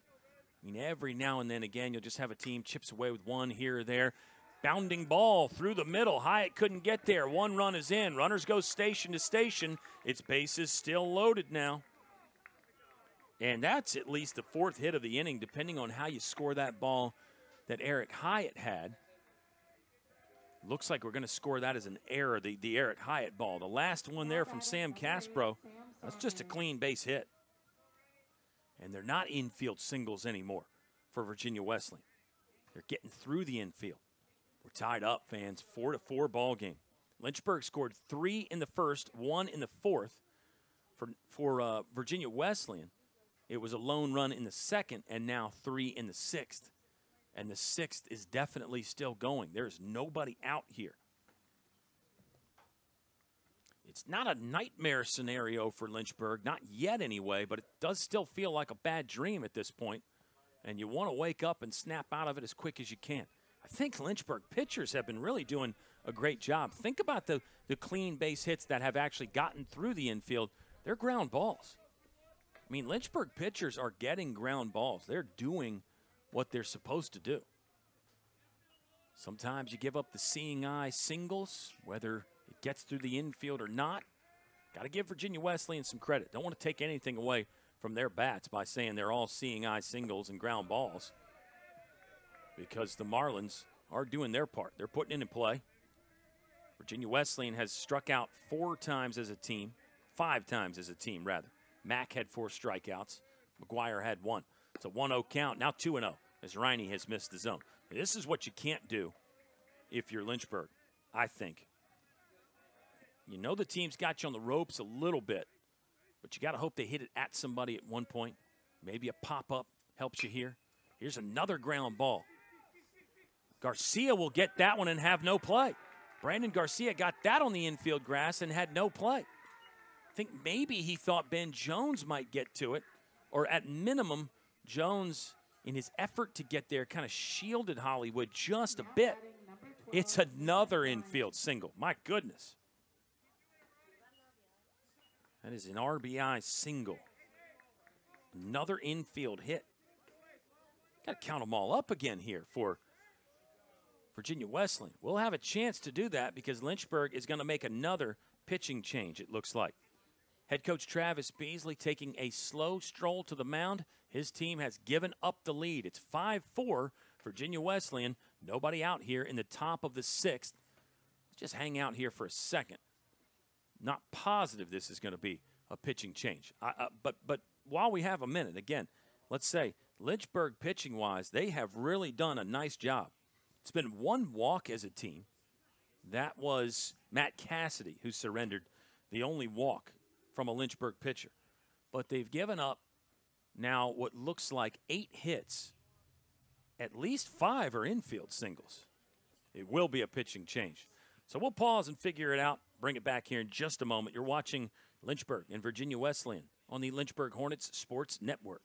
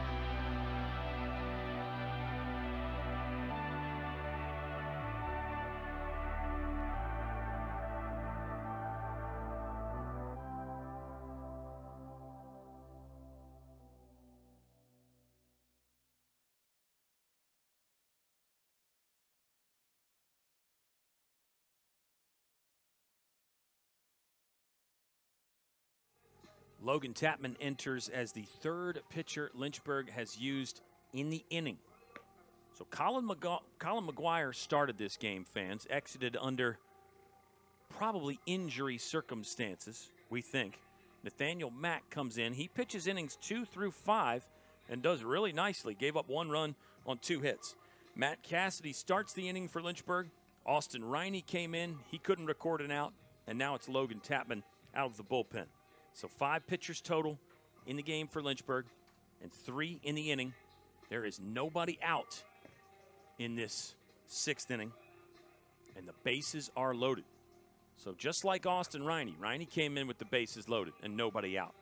Same thing for Logan Tapman. Tapman's numbers have been outstanding this season 3.76 earned run average. This will be appearance number 12 for another sophomore. Tapman has one save. He is one and one. Struck out 20 and walked just six. Another guy with the elite K to walk ratio. At this point, Lynchburg will just go for any out. Thomas Crandall, the leadoff man, started the inning for Virginia Wesleyan. And this is the eight hole hitter, Nathan Bryant, freshman catcher from Philadelphia, Pennsylvania. Steps in. Tapman breaking ball, strike one. Good start there for Logan Tapman. Eight hits total for Virginia Wesleyan, five infield hits, five balls that did not get out of the infield. And the other hits are all ground ball hits as well. No extra base hits just yet for the Marlins. For uh, uh, Lynchburg outfielders, by the way, fans, they have not made a catch. It's been a, a pop up caught by Eric Hyatt Ben Jones at second base caught a line drive. Other than that, it's, it's all ground balls in this game. All ground balls. 0 2 count. All ground balls for Virginia Wesleyan. Lynchburg has a double and a triple. But the Hornets are trailing now. Came into the inning leading 4 to 1. It's now a 5 4 Wesleyan advantage. Here's the 0 2 from Tapman. Planned off the plate setup pitch. And here comes a one ball, two strike delivery in just a moment. Worth mentioning again, Lynchburg's on the road for a key non conference matchup tomorrow against CNU. North Carolina Wesleyan will visit Virginia Wesleyan tomorrow in a key non conference matchup for the Marlins. There's a breaking ball. Good bite on that. Got a long hold from the catcher, Sean Pokerock, but it's off the plate for ball two.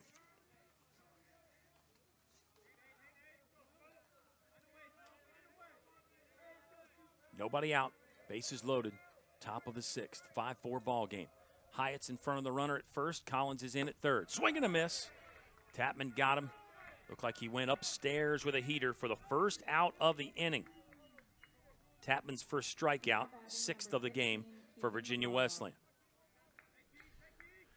Here's Keegan Magaro. He struck out twice in this game, once swinging, once looking.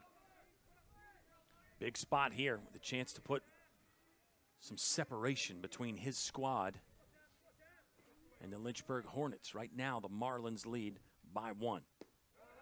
Off speed from Tapman. Magaro got the bat off the shoulder but didn't offer, and it's ball one. Same infield alignment. Corners are at the grass line or even with the bag at least. Outfield slightly shallow, shallow and straight away. Ground ball, left side. Garcia on the run. It popped out of Ben Jones' glove. It popped out of Ben Jones' glove. It's going to go down as an error. Was not a simple play. It was not an easy play, but it is a play that you feel like you can get an out on. Lynchburg did not. Another run scores. 6 4. 6 to 4. Two run. Virginia Wesleyan lead. Here's Thomas Crandall. Up for the second time in the inning. Crandall singled off Matt Cassidy to start this inning. It was one of those infield singles. There's another ball that does not leave the infield, but results in a run. This one will get into the outfield. It's at least one run. Yeah, runner will hold at third. Crandall's got two hits in the inning, and it's another RBI for Virginia Wesleyan. Run scoring continues 7 4 Marlins. Hit number nine of the ball game. All singles. Now batting number 24, Michael Burton. Here comes Michael Burton, his second plate appearance of the inning. He walked off Matt Cassidy earlier. There's one out. Hyatt's in at first. Collins even with the bag at third. Outfield does move back a bit for Michael Burton, the center fielder for Virginia Wesleyan. Breaking ball from Tapman, strike one. Burton has started 25 this year, now 26, including this game. One homer, three triples for Michael Burton Jr., two doubles in there as well. Michael Burton Jr., and then also Chris Mitchell Jr., both in the lineup. Here's a ball sprayed the opposite way. That is foul, and now the count is 0 2. Micah Fox is on deck. Fox is two for three with two infield singles. And it's not as, as if Virginia Wesleyan is just a, a, singles team. I mean, they've got quite a few extra base hits 75 on the season.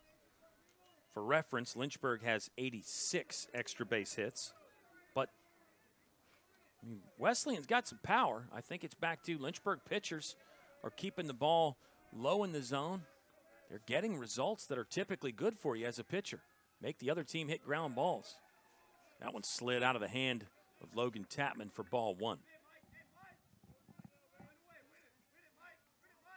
But it's not like you can do what you can do in other sports where you can change your defensive alignment around. You're not going to go to five infielders or something if you're Lynchburg. You just, again, you hope they hit it at you. You hope you can make a play. Maybe you dig deep as a pitcher for a another strikeout, maybe. Try to get a little bit more bite on the breaking ball, possibly. There's a danger in that, though, too. That's kind of the, the mental chess match. 2 2 count here for Tapman on Burton. This one's through the middle, pretty hard. Base knock there. Clean single. And that was the closest thing as O'Kelly McWilliams throws to second. Uh oh, might be a runner cutting a run down now. Brandon Garcia will catch and lunge back for the tag. They do get the runner at second.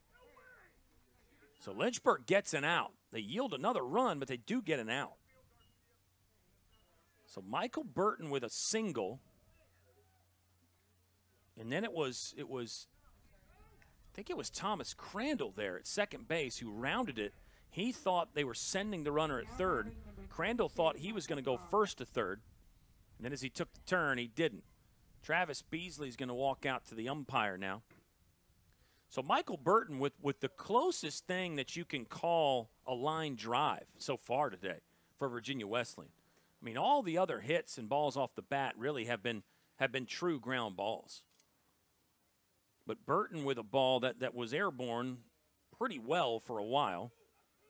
Uh, Michael Burton also did hit the line drive to Ben Jones. He got out earlier. So Michael Burton, we'll say he's swinging a pretty good bat. Here comes Micah Fox. Two infield singles. He's two for three. His already incredible batting average will be up a little bit higher. He's 410 coming into the game. And if he can continue this tear, it might be more runs for Virginia Wesleyan. Marlins lead 8 to 4. Good pitch from Logan Tapman. Strike one swinging. Chris Mitchell Jr. is on deck. 12th hitter Virginia Wesleyan has sent to the plate in the sixth inning. Big innings have doomed Lynchburg in a lot of their losses this year. Let's see if they've got enough to overcome this one. This is a seven run inning. It's not impossible to survive, or it's it, it, you can survive these big innings. Got a little tongue tied there. You can definitely survive these big innings, especially when you've got an offense like Lynchburg. They are survivable. You can overcome this, but your margin for error is cut down just a bit. You got to be really, really good the next four innings here if you're Lynchburg. This is the top of the sixth, so the Hornets only get to swing it four more times in regulation anyway. One two count. Tapman's working hard to Fox here. Big pitch coming. Runner goes. Fox sprays that foul. Caromed off the Lynchburg dugout, and then the coach, Chris Francis, got a foot on that one. Another 1 2 delivery coming up from Logan Tapman. This is the fourth batter that Tapman has faced.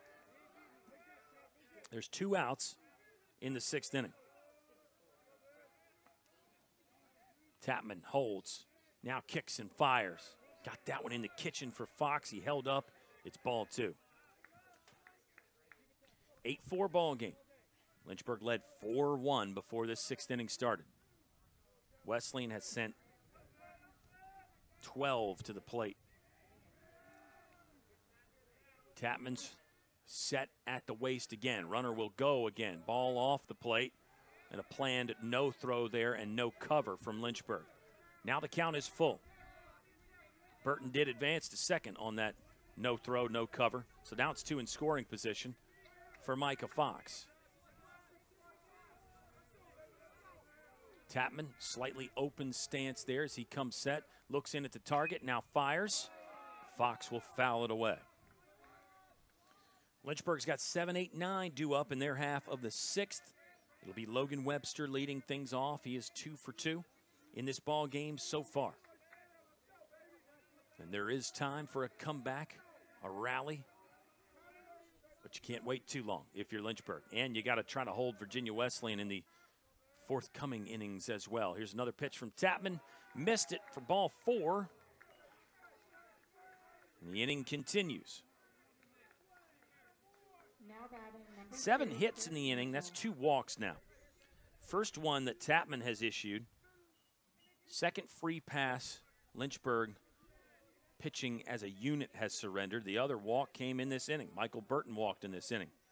Here's Chris Mitchell. He's already got a base hit in the inning. Bases loaded, two outs. Breaking ball, strike one from the right arm of sophomore Logan Tapman. Both of these teams, eight and five in ODAC play. Winner of this will probably have sole possession of third place at day's end. Uh, and in saying that, there are there are some other teams in that equation. Uh, Bridgewater is also eight and five in ODAC play, so they could still be tied with one of those teams as well. One-one count. Another breaking ball from Tapman just missed. And now the count is two balls and one strike with two outs in the sixth inning. A very long sixth inning. Three pitchers used by Lynchburg in the inning, five in the game. Mitchell ready for the 2 1 from Tapman. That catches the edge for a strike. And now it's a 2 2 count. Nick Sylvester on deck. Lynchburg's made two errors in the inning as well. It's been a mix of everything, really. Virginia Wesleyan has put the bat on the ball, gotten it through a few times, and forced some pressure out there. Speaking of bat on the ball, Mitchell did well to stay alive there. He was clearly fooled and out front on a breaking ball, but threw the hands at it to keep the at bat going and keep this marathon sixth inning going. Almost at the five o'clock hour here at Fox Field. Here comes another 2 2 from Tapman. Bases loaded to Chris Mitchell. Breaking ball again. Mitchell held up. Full count. Runners will be on the move here. Three balls, two strikes, and two outs.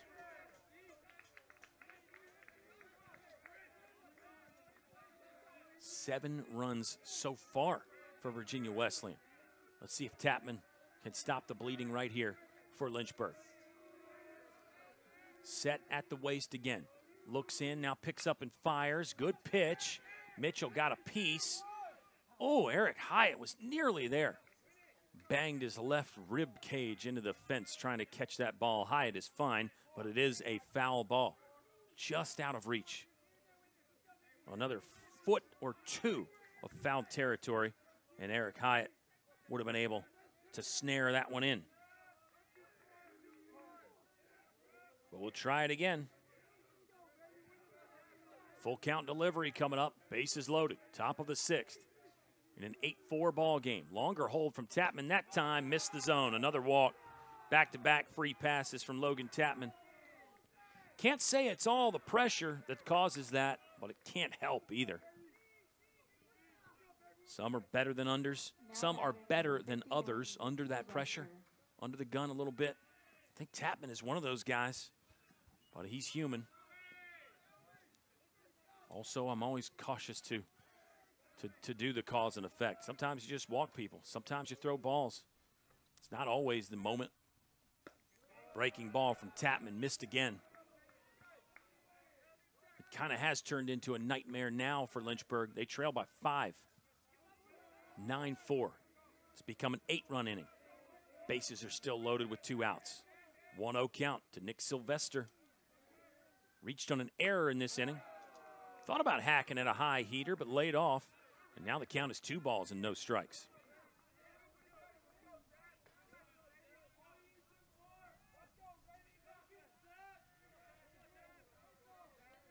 Nine hits in the ball game so far for Virginia Wesleyan.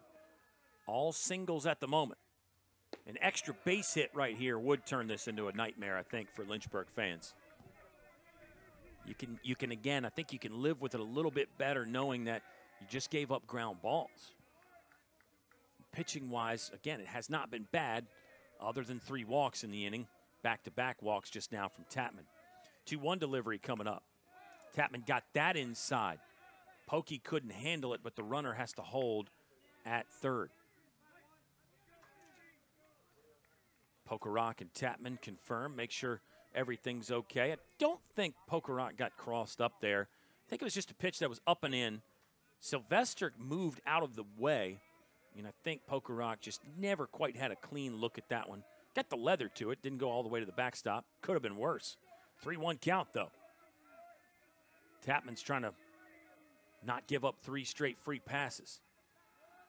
Here comes the pitch to Sylvester fouls it back and then lost the bat. He got deep holed there.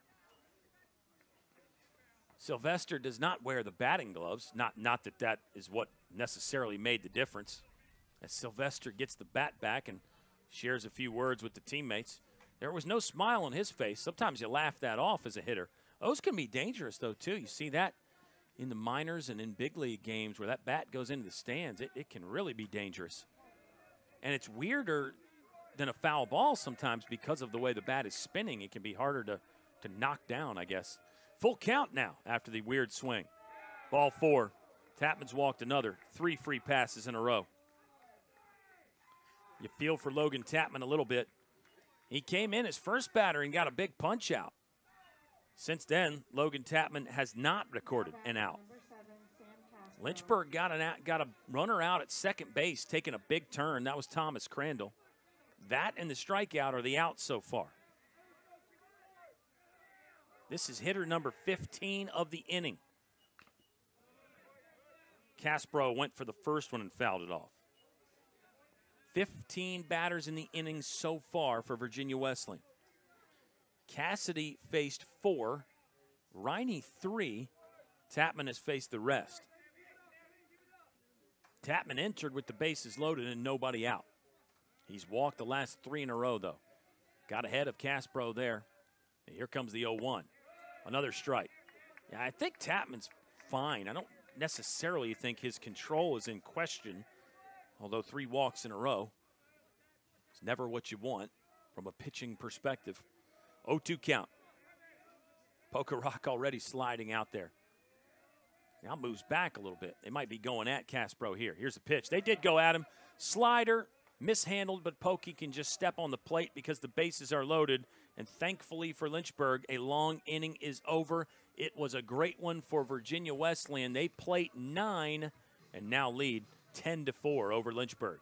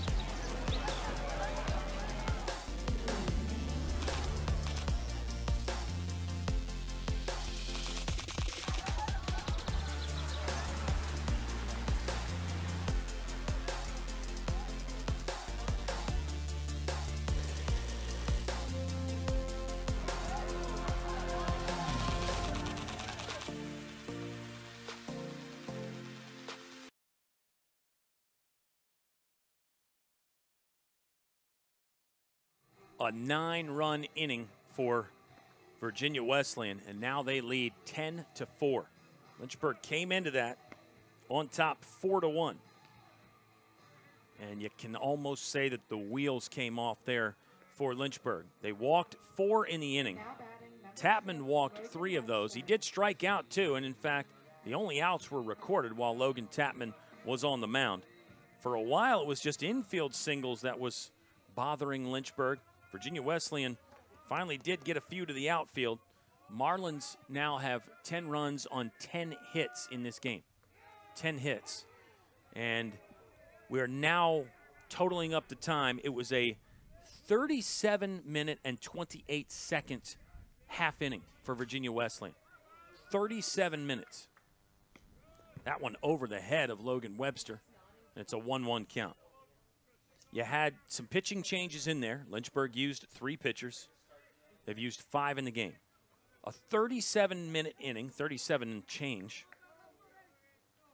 Virginia Wesleyan sent 15 batters to the plate. Six hitters got two plate appearances in that inning.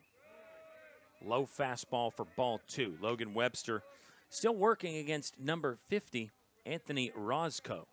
Roscoe had to wait 37 minutes. He may have gone down to the bullpen to wake up the wing a little bit. That is a long delay for any pitcher. Webster sends this one skyward into right.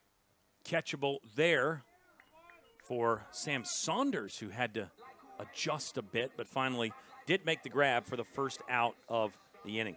If you're Lynchburg, if you could answer some of those runs here, I think that would be big for the spirit and the psychology. I think Lynchburg's always a pretty positive team. They always think the glass is is half full. They always think there's a comeback chance. This team has come back quite a bit on opponents this year. But if you could get a couple here, that would go a long way to, to keeping some wind in the sails. Sean Pokerock, he's 0 for 1. He was hit by a pitch in his last plate appearance. if you're Virginia Wesleyan and you get a three up, three down inning here, then, then you really do have all the momentum, it feels like. And momentum does matter in sports and in our game of baseball. 1 1 count to the catcher, Sean Pokerock. Lynchburg had one error in that inning. We had one score adjustment on that ball that Eric Hyatt tried to go to second on. That got changed to a fielder's choice.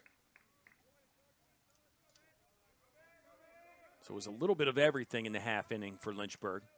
And again, they have had, unfortunately, some some innings where the other ball clubs have scored a lot of runs. Lynchburg has had some big innings of their own, but they have been on the receiving end of a few as well.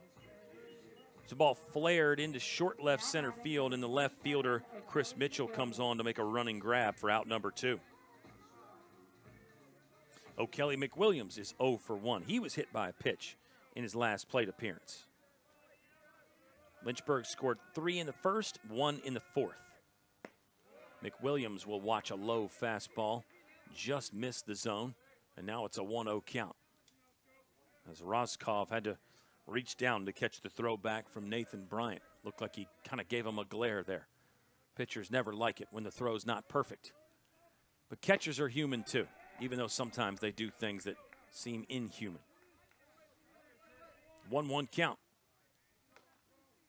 There were some major highlights in this game for Lynchburg that should not be lost, but when you have an inning where you surrendered nine, it's almost tough to think about anything else after that. It just really does change the whole complexion of the game. This ball fouled just past the outstretched arm of Micah Fox. Had a play where Eric Hyatt, the Lynchburg first baseman, got to the fence and nearly reeled one back in. Fox tried to do the same. Same result, though.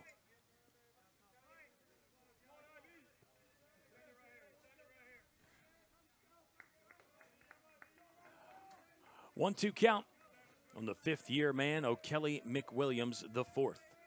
Here's the pitch from Roskov. Went low, and it is ball two. Anthony Roskov, a 6'3 sophomore from Chesapeake, Virginia. Looks at the pitch communication device and now gets set for the next one. 2 2 coming in. McWilliams spins on it. Oh, rolled up the bicep and the shoulder of the third baseman, Thomas Crandall. And we'll wait and see if that's a base hit or an error. O'Kelly McWilliams is on with two outs in the bottom of the sixth. Seven, Looks like it's going to be called an error for now. And our official scorekeeper reserves the right to change that. And they do that in the big leagues too. There was a weird one uh, with the Orioles, I guess, where they went back and changed a, a decision like five days later. Major League Baseball reviewed the tape and all kinds of things and went back and, and made a change. Oh, one count now on Brandon Garcia, who is two for three. Had an RBI ground out in his last at bat. He's got a stolen base today as well to go along with some major glove work. Brandon Garcia has been throwing the leather around today in this one. Confirming with the umpire on the zone, it's an 0 2 count now. Two outs in the bottom of the sixth. Here's the pitch. Brandon Garcia's got his third hit of the game, lacing one into center field. O'Kelly McWilliams was on the move the entire way. Fifth gear for McWilliams. He'll cruise into third base, and now it's runners at the corners with Ben Jones. Ben Jones, one for three. Struck out, flew out to center. RBI double in his first at bat. Ben Jones, I think, will be looking to take out some frustrations. And Lynchburg's only down six.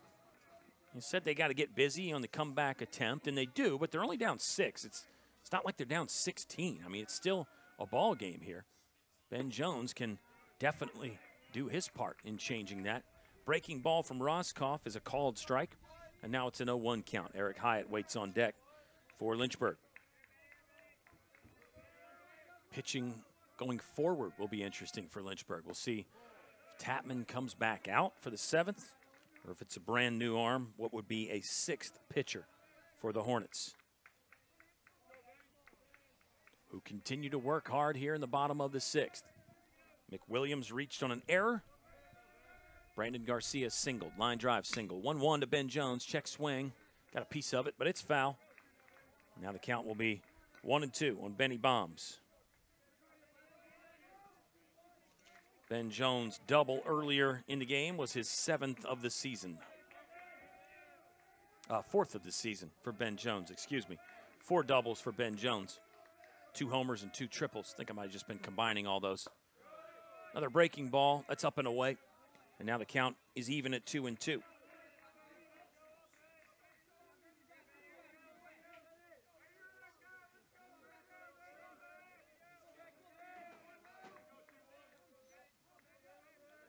Two-two delivery on the way from Roskov to Jones.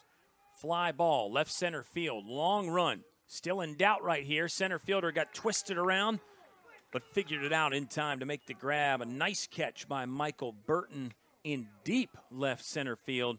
That ends the inning. Lynchburg gets two on, but no runs across. And the Virginia Wesleyan Marlins lead 10 to 4 through six complete at Fox Field in Lynchburg. The biggest thing that I've taken from Westover is probably my interactions with faculty. I started working with Dr. Fryer. He's always available for help and he makes sure that I get to do the experiments and not just be there while he does them. I didn't want to limit myself when I came here to just taking the prereqs for med school. I wanted to get a full, well-rounded education and I definitely found that in the Westover program. It's given me the opportunity to keep playing soccer at a competitive level, um, but also it's given me the ability to be a student and to pursue other activities such as EMS.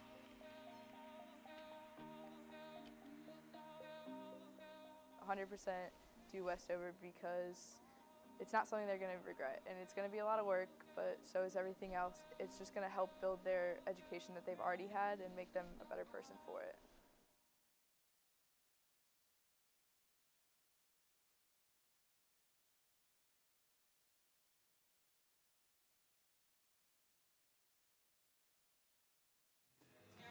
Dominic Rollins is on to begin the seventh inning for Lynchburg.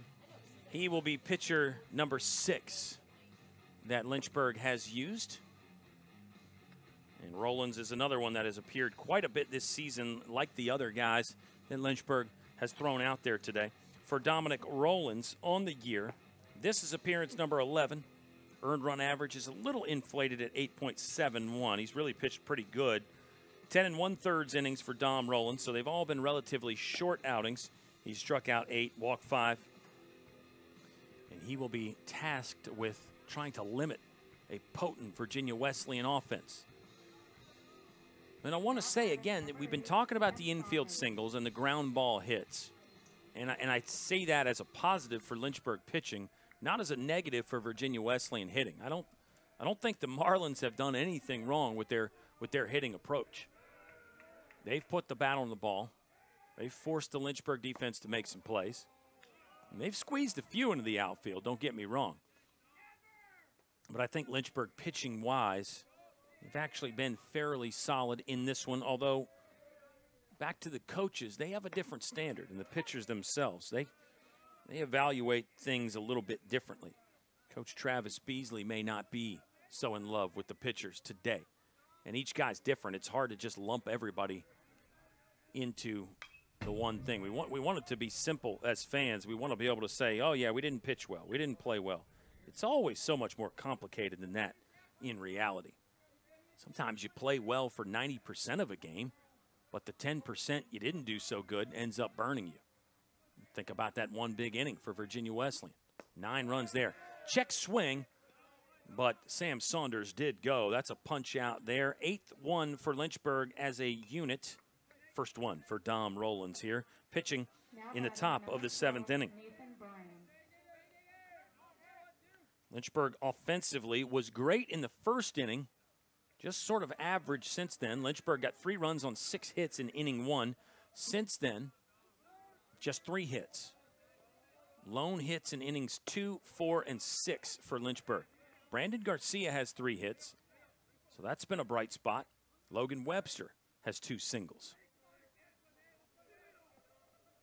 Lynchburg has seven singles on the nine hits. Quinn Madden tripled, Ben Jones doubled. 0 2 count as Dom Rollins is switched on and ready to go. Can be tough for a pitcher when your predecessors haven't been great and you did have that big inning, can be tough. Sometimes that can cause you to lose some confidence. Not seeing that from Dominic Rollins at all. 1 2 count now as Rollins went off the plate to Nate Bryant, the catcher for Virginia Wesleyan. He's 0 for 3 with two strikeouts. Gets the bat on this one, sends it to right field. Long run for Quinn Madden. That ball's in the Virginia Wesleyan bullpen now. And we'll get a 1 2 delivery again here in just a moment. Eric Hyatt will lead off the bottom of the seventh for Lynchburg, who's 18 and 9 currently, 8 and 5 in conference play. Virginia Wesleyan is the exact same in ODAC play up to this point. Man, hard two seam fastball there from Rollins. You can see the movement on that from back here. Rollins from nearby Jefferson Forest High School. He's got a brother that is currently a JF Cavalier, and it sounds like he might be headed to Lynchburg in the future as well. 1 2 again from Rollins. Good job by Bryant to stay alive.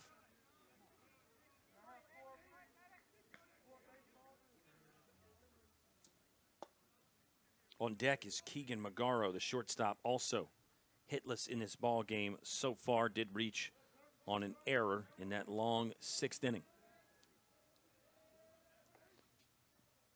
Rollins lifts the leg, tries the breaking ball, but misses. And now it's a 2 2 count. Got that good, lively two seam fastball with some movement. Movement on the breaking stuff as well for Dominic Rollins. Gets into the crouch, looks over the glove. Now he's set at the waist, none on with one out. Breaking ball that Bryant got to and fouled off, it's turning into one of those very long at bats. It was a long top of the sixth inning. We did the math. We got the stopwatch out. It was, uh, what, 37 minutes and 28 seconds. So almost 37 and a half minutes. Virginia Wesleyan was at the plate in the sixth inning, in their half of the sixth. Another 2 2 on the way. Rollins got him there. Nice job to win a tough at bat there for Dominic Rollins. Back to back punch outs for Rollins. Now batting number 15. And it is Keegan Magaro, who's been a strikeout victim twice in this game, both of those against Nathaniel Mack. And that's another one that, that should not be lost. An outstanding individual effort there from Nathaniel Mack. Gave up two hits in the second inning when he kind of had to get busy early and did surrender one run, but a clean third, fourth, and fifth for the mighty Mack. He walked one in there. But innings three, four, and five, Nathaniel Mack was basically perfect, other than that walk, and pitched around that with the outstanding double play help from Brandon Garcia, fielding that ball up the middle and then sprinting to the bag. So it can be a cruel game in that regard. You forget about a lot of that stuff after you have a shocking inning. And if you're Virginia Wesleyan, it's easy to smooth over, smooth over some mistakes when you have a very big inning like that. Even the coach after the game in the post-game speech doesn't deliver or doesn't worry about the bad things you did. He just talks about the big inning. Rollins missed there, and now the count is three and one. Brandon Garcia has picked up his 12th multi hit game of the season. That's nine two hit games now and three three hit games. Rollins has walked Keegan Magaro, and now the leadoff batter is back up. Fifth free pass Lynchburg pitchers have issued today. Mentioned a multi hit game for Logan Webster. That is multi hit game number five this season for Logan Webster. Two outs, top of the lineup. Thomas Crandall will take a hack at the first one. It's airborne. Quinn Madden calling, waving the arms. Hat comes off, jogs into that one for the final out of the inning. So a quiet seventh for Virginia Wesleyan, and the Marlins look to hold their 10 4 advantage over the Lynchburg Hornets.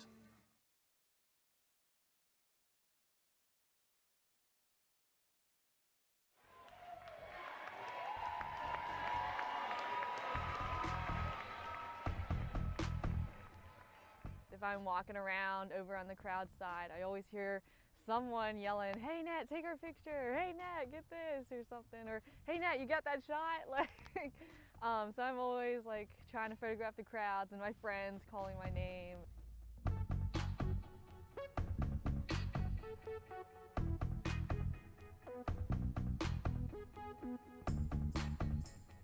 I think sports at Lynchburg unifies us as a whole, no matter what background we come from, what differences we have, and what experience we've experienced through our lives. It brings us all together and we have one goal, which is to win. As a photographer, I definitely get to capture the emotion and the feel and the atmosphere of what's going on during the games and what's happening in the crowd and with the fans. We have hugely dedicated fans here at Lynchburg. They come out whether it's rain, snow, sleet, windy, no matter what, like they will come out and support their team and cheer them on. They will sit through anything. it's just, it brings us all together as one.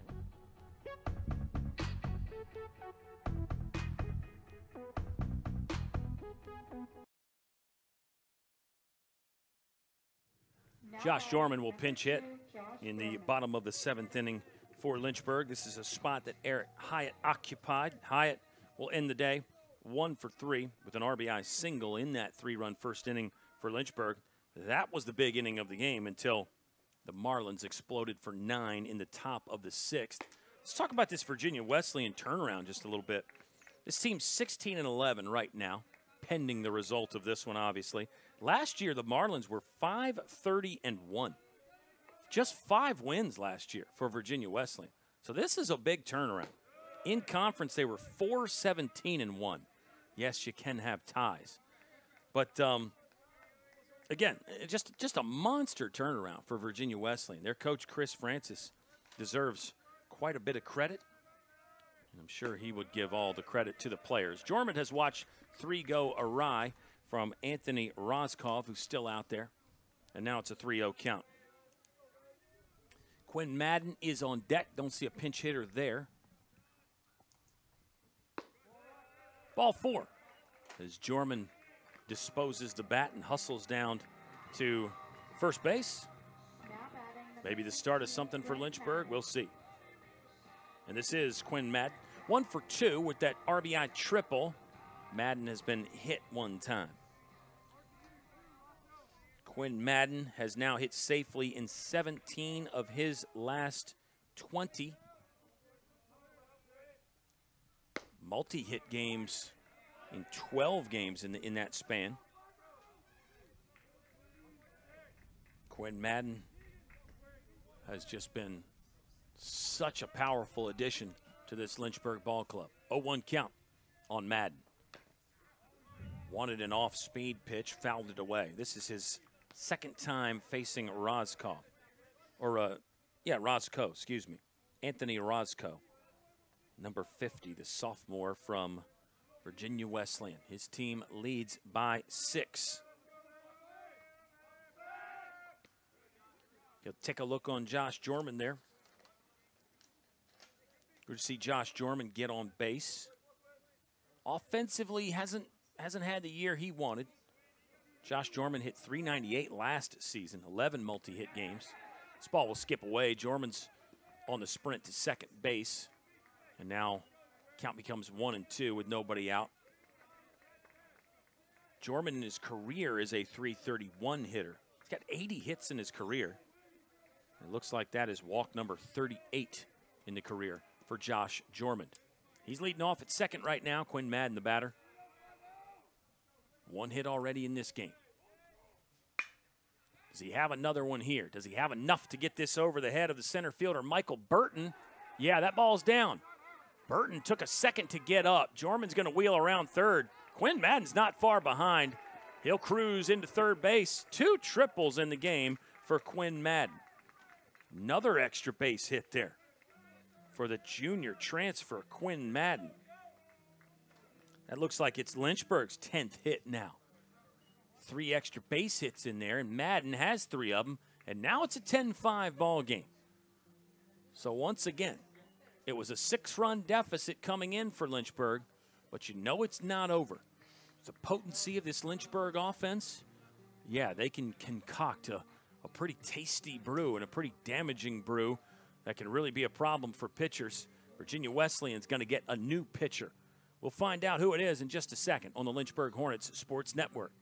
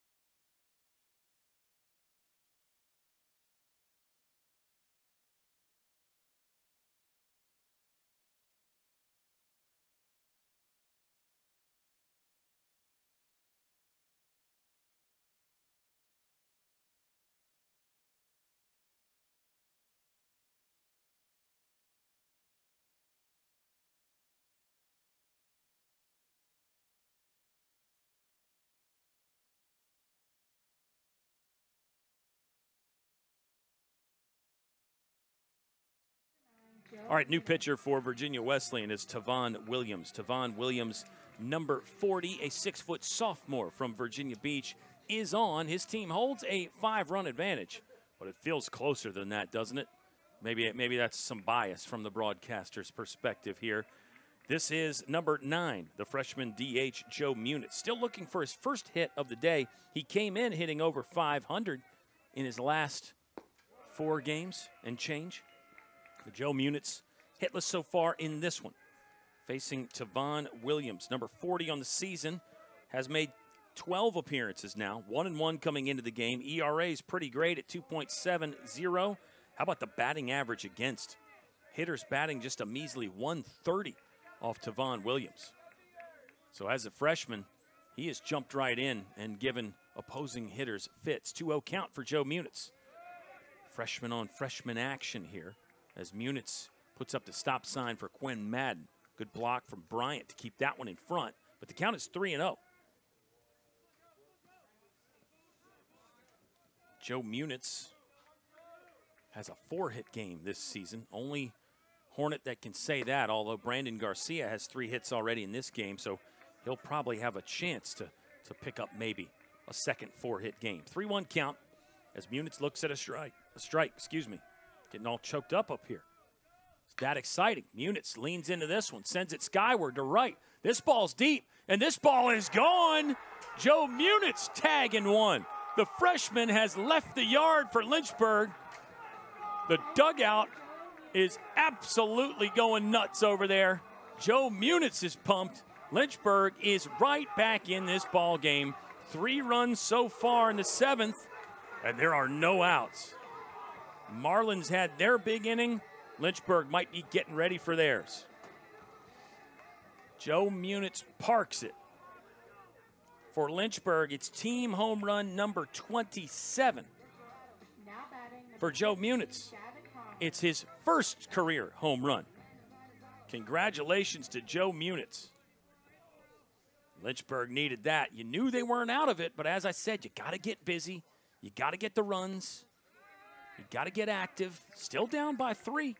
Still down by three. If you're a Marlins fan, you're, you're not going near the panic button yet. You're trying to stay cool and calm and collected. Gavin Collins got the back knee moving, thought about pulling the trigger, but does not. He's hitting with the bases clear and nobody out. So Josh Jorman pinch hit and drew a walk to begin the inning. Quinn Madden tripled him home. And then Joe Munitz left the ballpark here at Fox. 1 2 count. Williams with a wipeout slider that befuddled Gavin Collins. First out of the inning. think you're seeing why Williams has the numbers that he does have coming into the game. Batters hitting just 130 off of him. He had surrendered a home run previously, though, so that's homer number two that he's given up. He's only given up eight hits on the season. High fastball at the eye line to Logan Webster that he dodges and then sort of, walks the other way on. He'll step back in with the bases clear, one out and a 1 0 count. Williams pitching from the windup. He's got that nice long kind of a whippy arm action there.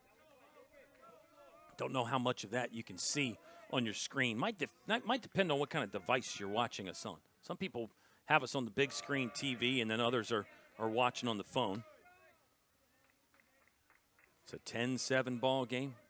Score line is accurate there. Marlins scored nine in the top of the sixth. Lynchburg's got three here in the bottom of the seventh. Hornets scored three in their half of the first inning as well. And then Lynchburg got one run across in the bottom of the fourth. It's an 11 hit attack right now for Lynchburg. They're out hitting Virginia Wesleyan. A fastball just upstairs for ball four. It's another walk. First walk Tavon Williams has issued. Looks like walk number seven that Lynchburg has taken as we get a light rain falling outside. Just a light rain. Remember, fans, Lynchburg came into the game walking at 5.96 times per game. So they're over that average now with seven base on balls. They are in the top 20 in Division Three baseball in that category. Sixth in D3 ball in walks coming into the game. Might be higher after this one. Strike two to Sean Pokerock.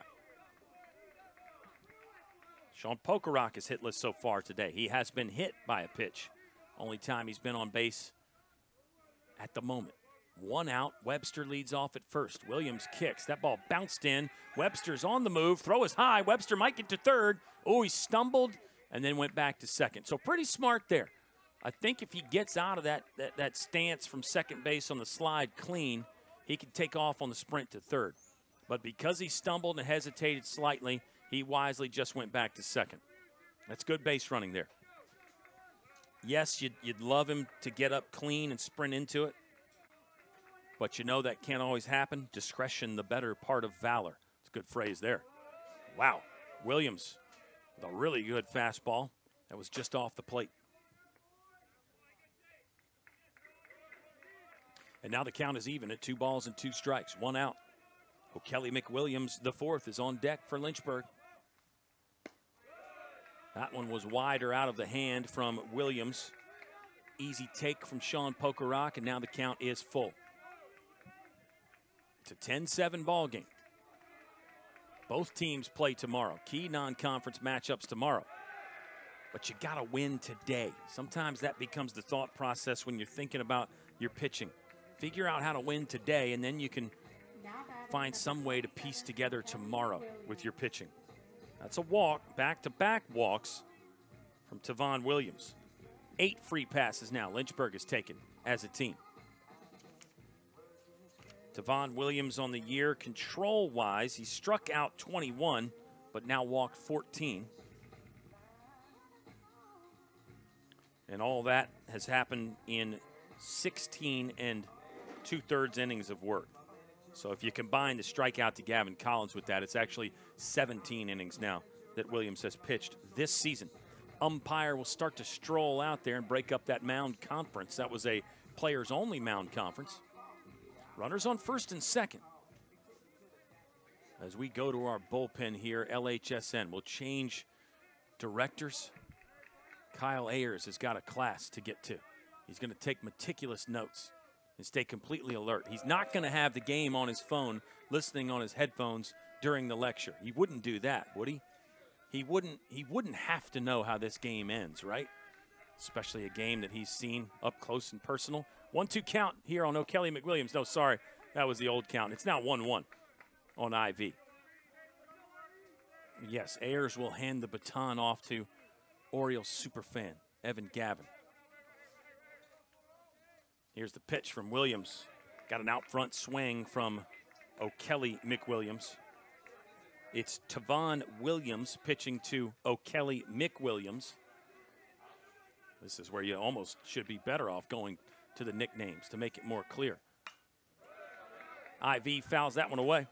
Don't know what Tavon Williams' nickname is, but if he keeps, keeps pitching successfully for Virginia Wesleyan, he'll probably pick one up somewhere in his career.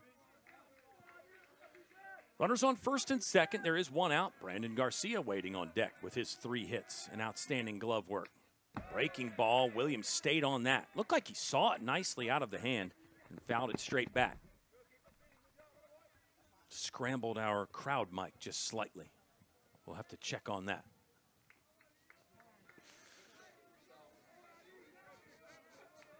Here's the pitch from Williams.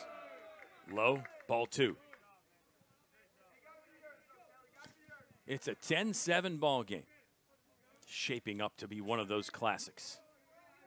And if Lynchburg could overcome giving up nine runs in an inning, that might make it just that much more sweeter. Another one in the dirt. Scramble from Bryant, but he got to that before the runners could advance. 3 2. IV getting some encouragement from the bench area. Lynchburg got more activity in their bullpen area. Dominic Rollins pitched the seventh inning. Here's the pitch to McWilliams. Got under that, flare. This is going to be a tough play. Center and right field converging. Watch out there. Nearly had a collision as the right fielder, Sam Saunders, wanted that and took it. But Michael Burton with some evasive action there at the end of the play to make sure he didn't run into his teammate. And now it is Brandon Garcia. His three hits. Garcia has a stolen base. He has an RBI on a ground out. He has some highlight reel glove work in this game. And a chance to just add even more to the box score and possibly the legacy here for Brandon Garcia. It's a 10 7 ball game. Logan Webster, good speed at second. Pokerock, good speed at first. Two outs. Garcia got down on a knee to hold up for that one. Good pitch from Williams. Counts even at one and one. Ben Jones on deck. He has an RBI double in this game. Just one hit for Ben Jones. Sent one deep to center field, though. That one's off the plate. Wide left from our perspective for ball two. Virginia Wesleyan's going to send two, three, four up in their half of the eighth inning. Cloudy skies here in Lynchburg. We might lose 10, 15, 20 minutes of play time because of, a, of the cloudy sky here today. And this is not the only time where darkness could be a factor this season. We saw that in the Washington and Lee doubleheader. 2 2 count to Brandon Garcia with two outs. Breaking ball over top of the zone, and now it's full with two outs. Runners will get the head start. Garcia confirming the count with the umpire. We're set and ready to roll here. Williams did not take long. Got a swing from Garcia. Bryant's on it. He'll throw to first. That's how the inning will end. But it was a good one for Lynchburg. They score one. Josh Jorman walked and then came home on a Quinn Madden triple. And then Joe Munitz left the ballpark for a two run home run and the Hornets are right back in it. We've only got two more to play here from Foxy. Don't miss the conclusion on the Lynchburg Hornets Sports Network. Get your career in the game by enrolling in the University of Lynchburg MBA program with an emphasis in sport management. This program opens the doors to new possibilities for a variety of careers from being an athletic director or working in athletic administration to working for professional organizations, your favorite team to running a local parks and rec department. And employers are increasingly requesting and preferring individuals who have postgraduate education, specifically looking for an MBA. And so the University of Lynchburg Sport Management concentration in the MBA program sets you up for success and it sets you apart from the many other people looking for jobs in the industry. Learn from winners. Here you will learn from professors and mentors who have spent their careers doing exactly what you want to do. Increase your marketability in an $83 billion industry. If you have a 3.0 GPA, the GMAT is waived. There's no application fee, admissions occurs on a rolling basis, and our online program is ideal for working adults. When you enroll in this program, you enroll in the opportunity to learn from the best of the best. Your professors have a wealth of experience working in the sport industry that they share with you in the classroom setting. Top eight at Fox on the campus of the University of Lynchburg. My name is Kyle Haney. We're so glad you're tuning in wherever you are. So many fans all over the place watching and getting connected with Lynchburg Sports. LynchburgSports.com is the website. Sign up for the email alerts. That's still a big campaign that we're on. You got to get those email alerts. If you're a real fan, you're on the email alert list. Uh, and the blog has been great. Obviously, the social media stuff is always great. If you're into that, we encourage you to check all of it out. 1 1 count as Michael Burton Jr. fouls one away. He has one hit in this game, one for three officially. Uh, also a walk in there for Michael Burton. Some pretty good grabs in center field. One or two he couldn't get to, but Burton covers a lot of ground out there. Dominic Rollins is back out for Lynchburg. This is a, a, rare multi inning appearance for Rollins. Remember, coming into the game, it had been 10 appearances, but 10 and one thirds innings pitched. So that tells you he's not going long a whole lot. Strike two. Dot in the corner there with a seed. Let's see if Rollins goes a fastball or something off speed. 2 2. Heater. That was a no doubter. I mean, that was just a pill that Rollins threw in there. Had that good, strong two seam movement as well. Burton could not get the bat off his shoulder. You could just tell as he walked back, he knew it. Sometimes, if you're looking for the off speed, that fastball can get a lot quicker. Looks like Lynchburg will try a new pitcher. Great stuff from Dominic Rollins, though.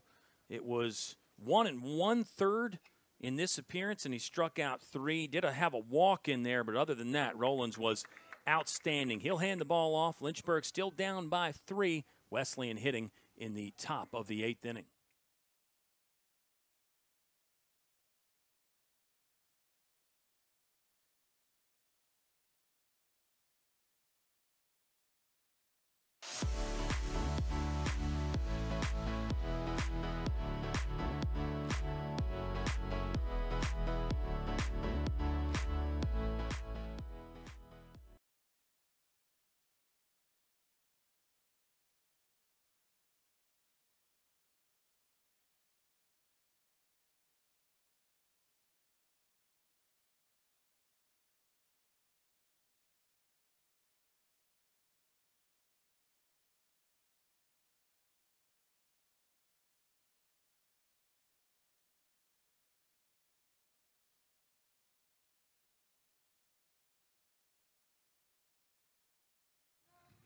You're getting a look at Lynchburg's new pitcher. It's Bryce Demery. The Bryce Demery takeover? Question mark. We'll see. Demery did pitch this weekend against Ferrum, one inning, and he struck out all three. And Bryce Demery on the season, it'll be appearance number five for number 17. Two and one thirds innings, and there are four strikeouts in there.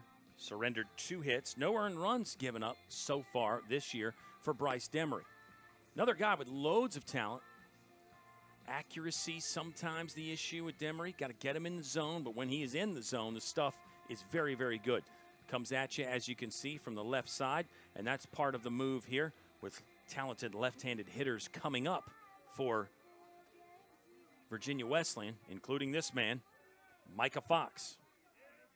Micah Fox is two for three with a walk in this game. His two hits are infield singles, though. He, he probably wants more. He probably wants to, to bang one, hit something in the outfield, make those three exterior defenders work a little bit. Check swing, appeal down to third. Fox did not go, and it's a 1 0 count. Uh, Nick Sylvester not due up next, but also a left hander who's in the hole right now. Chris Mitchell is on deck. Fastball upstairs from Demery. Seventh pitcher Lynchburg is used. Mack and Rollins have performed the best statistically for Lynchburg. Again, the coaches have different things they look at, and different standards. As broadcasters, we're always just looking at How many did you strike out? How many did you walk? How many hits did you give up? Earned runs, some of those things. But the coaches, again, they have they have a different quality they, they judge pitchers on. Demery up high again, and now the count is three and one. Lynchburg, two bites at the apple left here with two, three, four coming up in the bottom of the eighth. That'll be Ben Jones leading it off. Better pitch from Demery, but also a ball, and it's back to back walks from Micah Fox. Fox has two hits and two walks now in the game. Here's Chris Mitchell. He is a right handed swinger, one for three in the game. Virginia Wesleyan, 10 runs on 10 hits. Those are all singles. I think we had the number at five infield singles. Five balls that never made it to the outfield grass, but were still hits. A 1 count. Demery holds, arms extended slightly from the body. Got that one in on Burton, and he fouls it away. Excuse me, not Burton. It's Chris Mitchell Jr. I'm sorry. Michael Burton is also a junior, but this is Chris Mitchell Jr. They both play in the outfield as well. But anyway, that's why you get the lineup and keep the box score so you know who is who. For some reason, I still screw it up. Here's the 0 2 upstairs from Demery for ball one.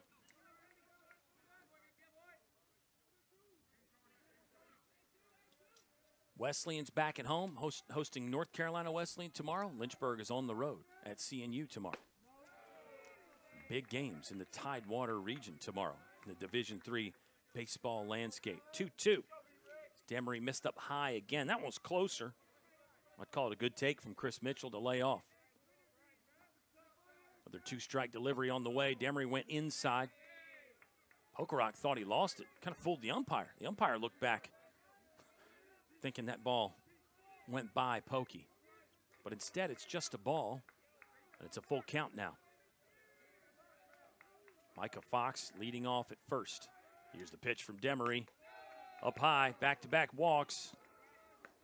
Lynchburg pitchers have now given up seven free passes.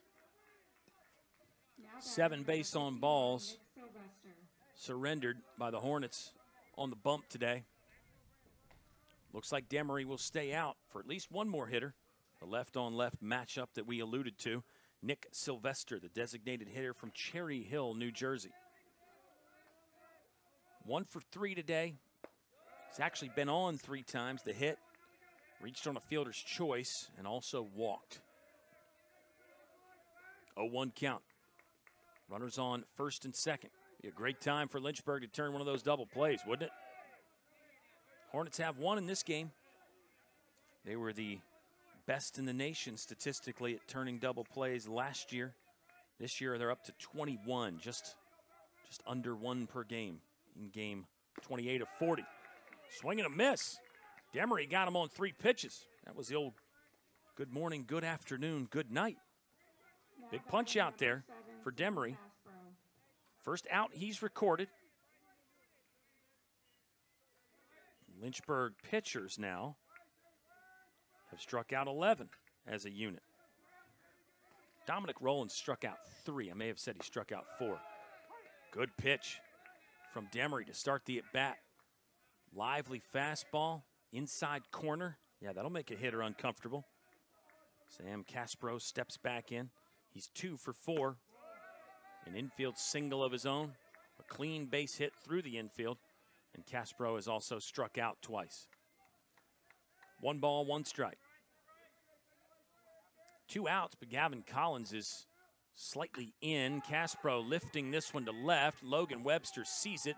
He'll have to run on. Now he's under it for an easy grab, and that's how the inning will end. Two walks, but Lynchburg strands two Marlin base runners, and the Hornets look to bite into the Marlin lead a little bit more. Lynchburg trailing 10 7, going to the bottom of the eighth.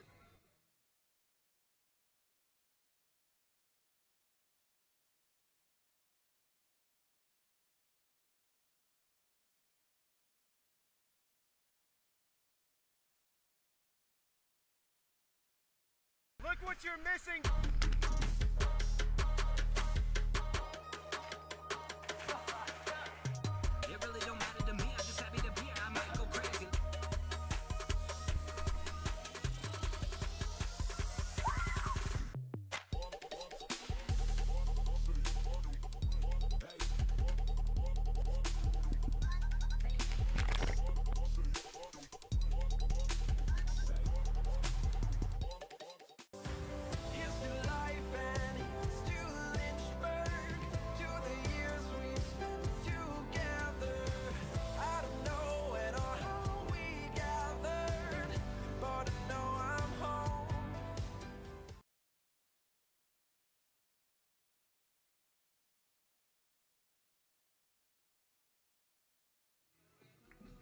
Hornets down by three. 10 7 ball game here as Virginia Wesleyan still leads. Marlins got one in the second, nine in the sixth. That's all their run scoring for Lynchburg. Three in the first, one in the fourth, three last inning, featuring a Joe Munitz two run home run. Same pitcher for the Marlins. Tavon Williams, third arm that they have used. Lynchburg has used seven on the bump and may see even more. That is a good breaking ball from Williams. Had a lot of movement. Had that vertical and horizontal movement. Ben Jones got to look at it though. He'll swing at that. That seemed to be a fastball. Jones ripped through it. Now the count is 0 2. Quinn Madden on deck. He's got two triples in the game. The rare, the rare two triple day for Quinn Madden. I think this man Ben Jones had one of those days last year. Might have to wait on that again though, as he has swung through another heater. That's out number one of the bottom of the eighth inning. Now batting number two, Josh Jorman. And Tavon Williams has now struck out three, faced seven hitters, struck out three, did give up the home run to Munitz. That was the first batter that Tavon Williams faced. Here's Josh Jorman. Quinn Madden is on deck right now. Quinn Madden with the, the double triple day. But this is Josh Jorman, who walked to start the seventh inning for Lynchburg, came around to score on Madden's triple. Jorman is in the spot occupied by Eric Hyatt. Jorman over there at first base at the moment.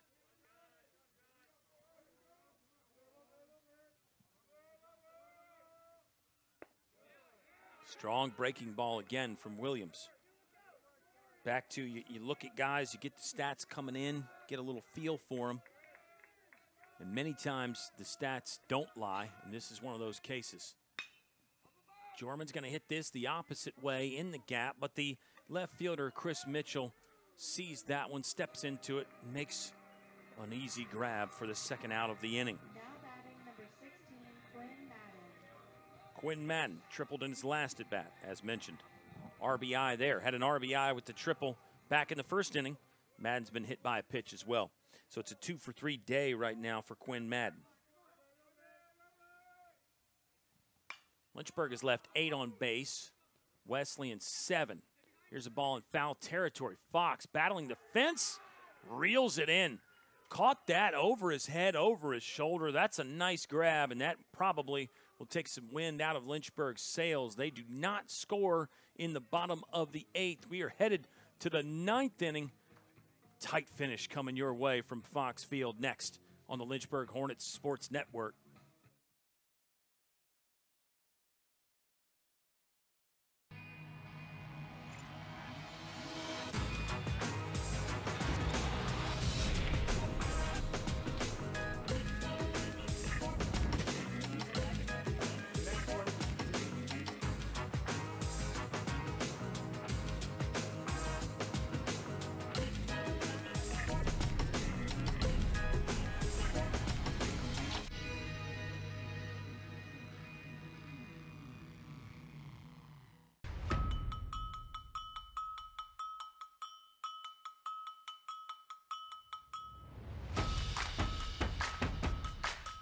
Living the dream.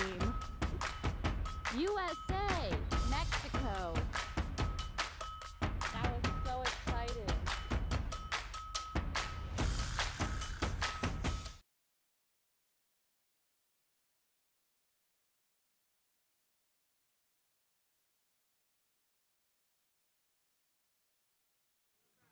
Bryce Demery stays in. He entered last inning with one out in relief of Dominic Rollins. Demery got a strikeout and a flyout. Did walk two hitters as well. But Bryce Demery is on facing Sam Saunders. I think Sam Saunders now in his fifth plate appearance here. Fifth at bat. Pretty sure he's faced four different hitters. Yeah, Nathaniel Mack is the only pitcher that Saunders faced multiple times. He does have one base hit. Another one of those infield singles. Got a good cut at that one. Couldn't keep it between the lines, and now it's an 0 2 count. Catcher Nathan Bryant is on deck for Virginia Wesleyan. Lynchburg has used seven pitchers. Lineup intact other than Josh Jorman. Demery's going to come off. That ball just kind of went through the fingers, not not the actual fingers, but just had the glove out and couldn't reel it in there on a high chopper. It was going to be a tough play. That'll be another infield single for Virginia Wesleyan. File it away. They get another one. And here's your first order change for Virginia Wesleyan. Now batting number four, Garrett Cockerell. This is number four, Garrett Cockerell. He is in for Nathan Bryant. We'll see if he stays in to catch or not. Uh, Cockerell's listed as an infielder, so thinking probably not, but you never know, right? This is the first change in the order for Virginia Wesleyan, who has used three pitchers, by the way. Demery's got ahead 0 2.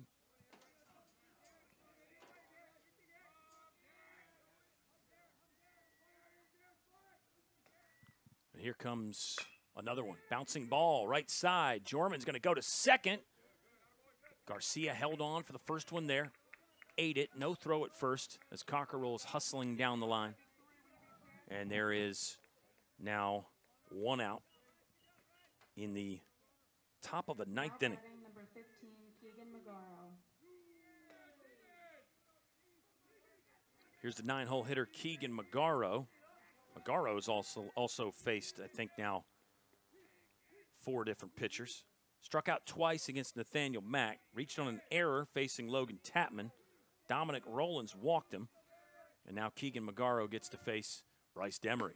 Bryce Demery ahead for a strike. I like the way Bryce is attacking the zone now. He did walk his first two batters he faced. Seems to have figured it out. And he's in the strike zone, around it anyway. Runner goes. Pokerock throwing. This one sailed on him. Ends up in center field. Great effort by Brandon Garcia on the backup there to dive after that. But O'Kelly McWilliams was hustling in to cut down the overthrow distance. And it will be a stolen base. As you get to see another look at it right there. Ben Jones did his best to leap over the runner. And the runner just has to stay put. 1 1 count. Swung on and fouled away by Magaro. Now the count is one ball and two strikes. Leadoff man Thomas Crandall waits on deck. It would be plate appearance number six of the game. If he gets there, there's one out in the top of the ninth. Lynchburg trailing by three. They'll have Joe Munitz leading off. He had a home run in his last at bat.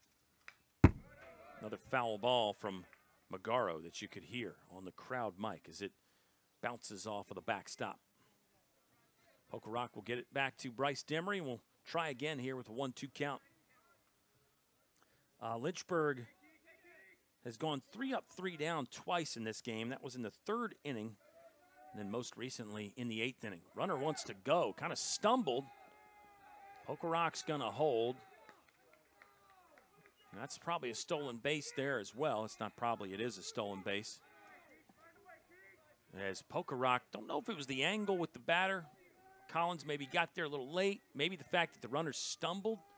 Pokerock didn't didn't hear that runner call. A lot of different things could have happened there.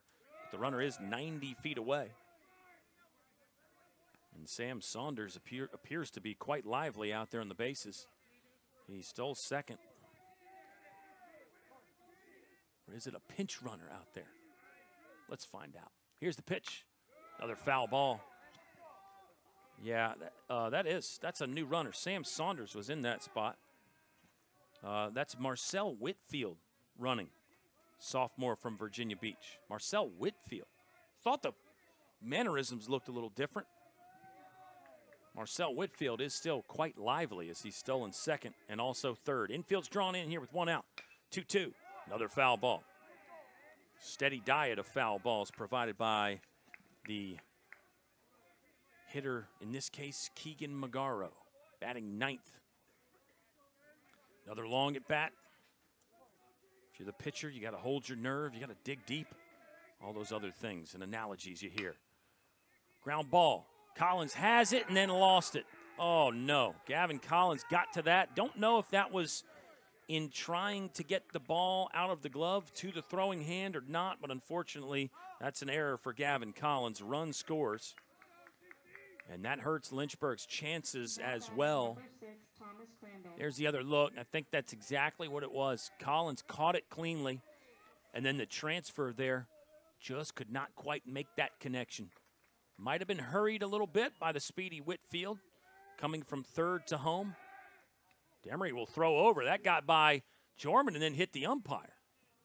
So this is a couple times we've seen a situation like that this year. In the modern game, the umpire gets right behind first base to uh, to call those those plays at first, uh, and that and that happens sometimes on that overthrow. The umpire is just right there. Hope he's okay. I think he's okay, but um, maybe we'll have another look at that, or maybe we can just get a shot at where the umpire is positioned. I mean, I don't think it was a terrible throw from Bryce Demery. You got to think, too, the first baseman, sometimes you're battling the runner coming back also. We do not have the best light out here on a cloudy spring evening. So all sorts of things could, could have been in play there. As the hitter, Thomas Crandall, is two for four today with a walk. Demery will throw over again. Jorman snares this one, no problem. I mean, I get the concept for the umpire. You want to be as close as you can to make an accurate call. Also, got to keep yourself safe over there. Don't have any protective equipment on like the home plate guy does. Guy or gal, should say. 11 7 is the Wesleyan lead at the moment. Lynchburg now down four. I would still argue they're not out of it, but again, the room for error is just so small at this point. You're really on the razor's edge if you're Lynchburg. And you feel like you can't yield any more runs either. Demery will keep chunking over there to first to keep Keegan Magaro busy and hopefully prevent a stolen base. Wesleyan do Wesleyan has two steals in the inning. That was a pinch runner, Marcel Whitfield, who snuck in there on us and snuck around the bases to score. One two count as Crandall swings through one. I think Crandall's faced a different hitter every at bat. Yeah. Lynchburg's used seven pitchers. Crandall's faced six of them. Demery got him with a high heater. That tied him up as it chased inside as well. Another strikeout for Bryce Demery. He's punched out two. Lynchburg hitters have K'd 12 in the game.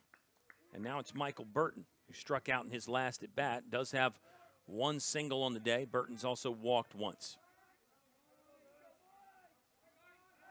Demery will throw to first again. Back in time is Keegan Magaro. No slide necessary as he's got a short lead. First base coach ran over there to tell him something, kind of patted him on the back. Be a little bit careful with that. You're not supposed to uh, touch the runner when he's in play, but nothing, no ill intent there or anything like that. I think that rule goes back to like in the little league days where the third base coach would actually like push the runner or or if the runner was coming around third and the coach wanted him to stop, he would grab him by the jersey. I think that's where that that rule comes from. It really doesn't come into play ever uh, at this level of the game. But hey, you never know. If you watch enough baseball, you'll see something new. Pokerock missed that one on a high pitch. Tried to come up throwing, but nothing there and it's a 3 0 count. Michael Burton Jr. hitting. Micah Fox is on deck. Fox is the first batter that Demery faced. There are two outs here in the top of the ninth inning. Demery was closer on that fastball, but still above the zone, and it's another walk. Demery has now walked three. And this is the 10th hitter he's faced. That was one time through the lineup for Bryce Demery. Sean Pokerock will take a slow walk out there to the mound. That might might be uh, part of the reason. A reminder of the game plan on Micah Fox, maybe to give Demery a break, perhaps to give other pitchers time to get loose. We are in the top of the ninth. My name is Kyle Haney. Our LHSN team has been just incredible as always today. They always bring their best. They were not blinded by the light yesterday. There was no total eclipse of the heart yesterday. Black hole sun. All musical references, of course, in a reference to the eclipse yesterday.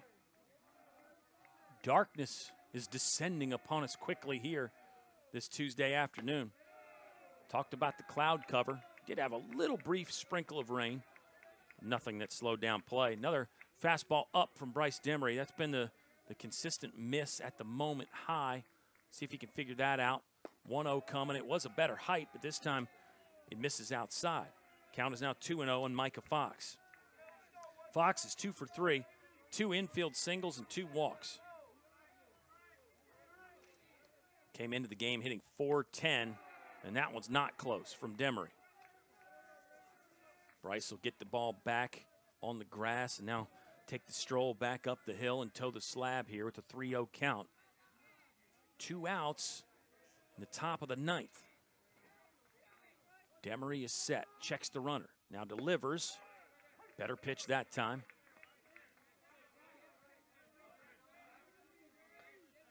To Micah Fox. Chris Mitchell Jr. is on deck. Demery got that one in the hitting zone. Fox took a lash, but just fouled it straight back. Now the count is full with two outs. Reminder, Lynchburg has six, seven, or no, five, six, seven due up. Joe Munitz, Gavin Collins, and Logan Webster in that order, barring any changes.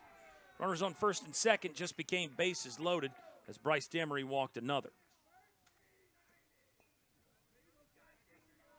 Demery has walked four. Now batting number two, Chris. Lynchburg as a team looks like they've walked nine. Seven pitchers today for Lynchburg. Seven so far. Bryce Demery can still get out of the inning with one pitch here. Got a big hack from Chris Mitchell, came up empty, and now the count is no balls and one strike. Bases are loaded. Lynchburg defense has an out available at any station, and there are two outs in the top of the ninth. Wesleyan has scored one already. There's a fastball right down the middle from Demery. 0 2 count. See if Demery can dig deep here, get out of the inning. Pokerock set up. There's the pitch. He did get him. Strikeout from Bryce Demery. Leaves the bases loaded. Lynchburg's got work to do, and just three outs to do it. Marlins 11, Lynchburg 7. Bottom nine coming up next on LHSN.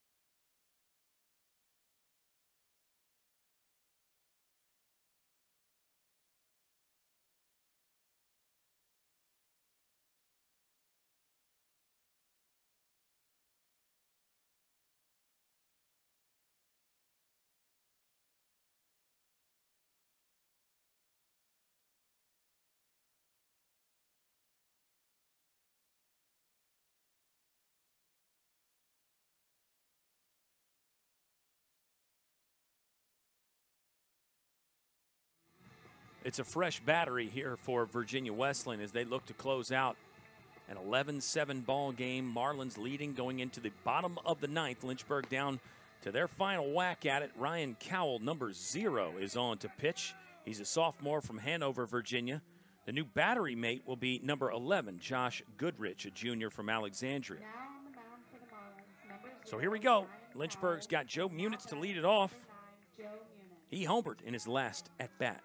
Joe Munitz stepping in there to face Ryan Cowell. Lynchburg needs four. That hit him. Munitz was pleading his case, but I, I think the umpire saw it the whole way. And Munitz will head down to first. So you'll take that start if you're Lynchburg. I mean, really, in, in, these situations, it's you're just looking to get base runners. Does not matter if they're hit by pitch. You take the walks. Base hits work as well. But all those things that Lynchburg does so frequently anyway, that's getting hit by pitches and taking walks, they really benefit you here. Gavin Collins is up. Look like something of the breaking ball variety from the right hand of Ryan Cowell for strike one. Number zero, Ryan Cowell. Has three saves this year. This is appearance number 15. They're all in relief. He's got a one and one record, 2.60 earned run average, and his batting average against is also very good, like Tavon Williams at 186. South of 200, the batting average for opponents against this guy, Ryan Cowell. And you got to think those two back end bullies there out of the bullpen for Virginia Wesleyan are a big reason why they have had this turnaround this year. Marlins are 16 and 11 this season. That's after being 530 and 1 last year. Cowell is a sophomore. Tavon Williams is a freshman. So that's an oversimplification to say it's, you know, all those two guys and what they're doing out of the bullpen. But it's definitely had a big impact for the Marlins, who, if they hold on, move to 9 and 5 in the ODAC. Out of the zone, good stop from the new catcher, Josh Goodrich. He caught it in the air. It wasn't necessarily what you'd call a stop, but had to get active for sure. It's a 2 2 count. Gavin Collins hitting with nobody out. Joe Munitz leads off at first. Your runners have got to be very careful in this situation, down by four. Another one way wide. Gavin Collins never really had to think about that. Now the count is full. Still, you still have to run hard and be aggressive as a runner. There's still some value in that, but you take no chances right here. Both dugouts coming alive. Collins will swing through one. Looked like maybe a, a slider that just never really broke and stayed upstairs on Gavin Collins, but that's a strikeout. First one for Cowell. And the fifth time Lynchburg has struck out offensively today. Here's Logan Webster. He's had a good day, two for three. Also walked one time. Only out he has made, he flew out to right. Sean Pokerock's on deck. And it looks like Pokey is in the on deck circle, so no change for Lynchburg. Short conversation with Goodrich and Ryan Cowell. We're getting back to baseball here in just a second. Fresh count with one out. Logan Webster will adjust the batting gloves, secure the grip, and step back in. Runner on first is Joe Munitz. Munitz now has a five game hitting streak working thanks to his home run in the bottom of the seventh inning. Joe Munitz has Started six times. He's got base hits in all six. Done some things in pinch hitting roles, including laying down some great sacrifice bunts early in the season. That was kind of kind of what he was being used for, but just swinging the bat too good to leave out completely now. Joe Munitz, great stuff. 1 0 count here to Logan Webster. He'll take that for strike one.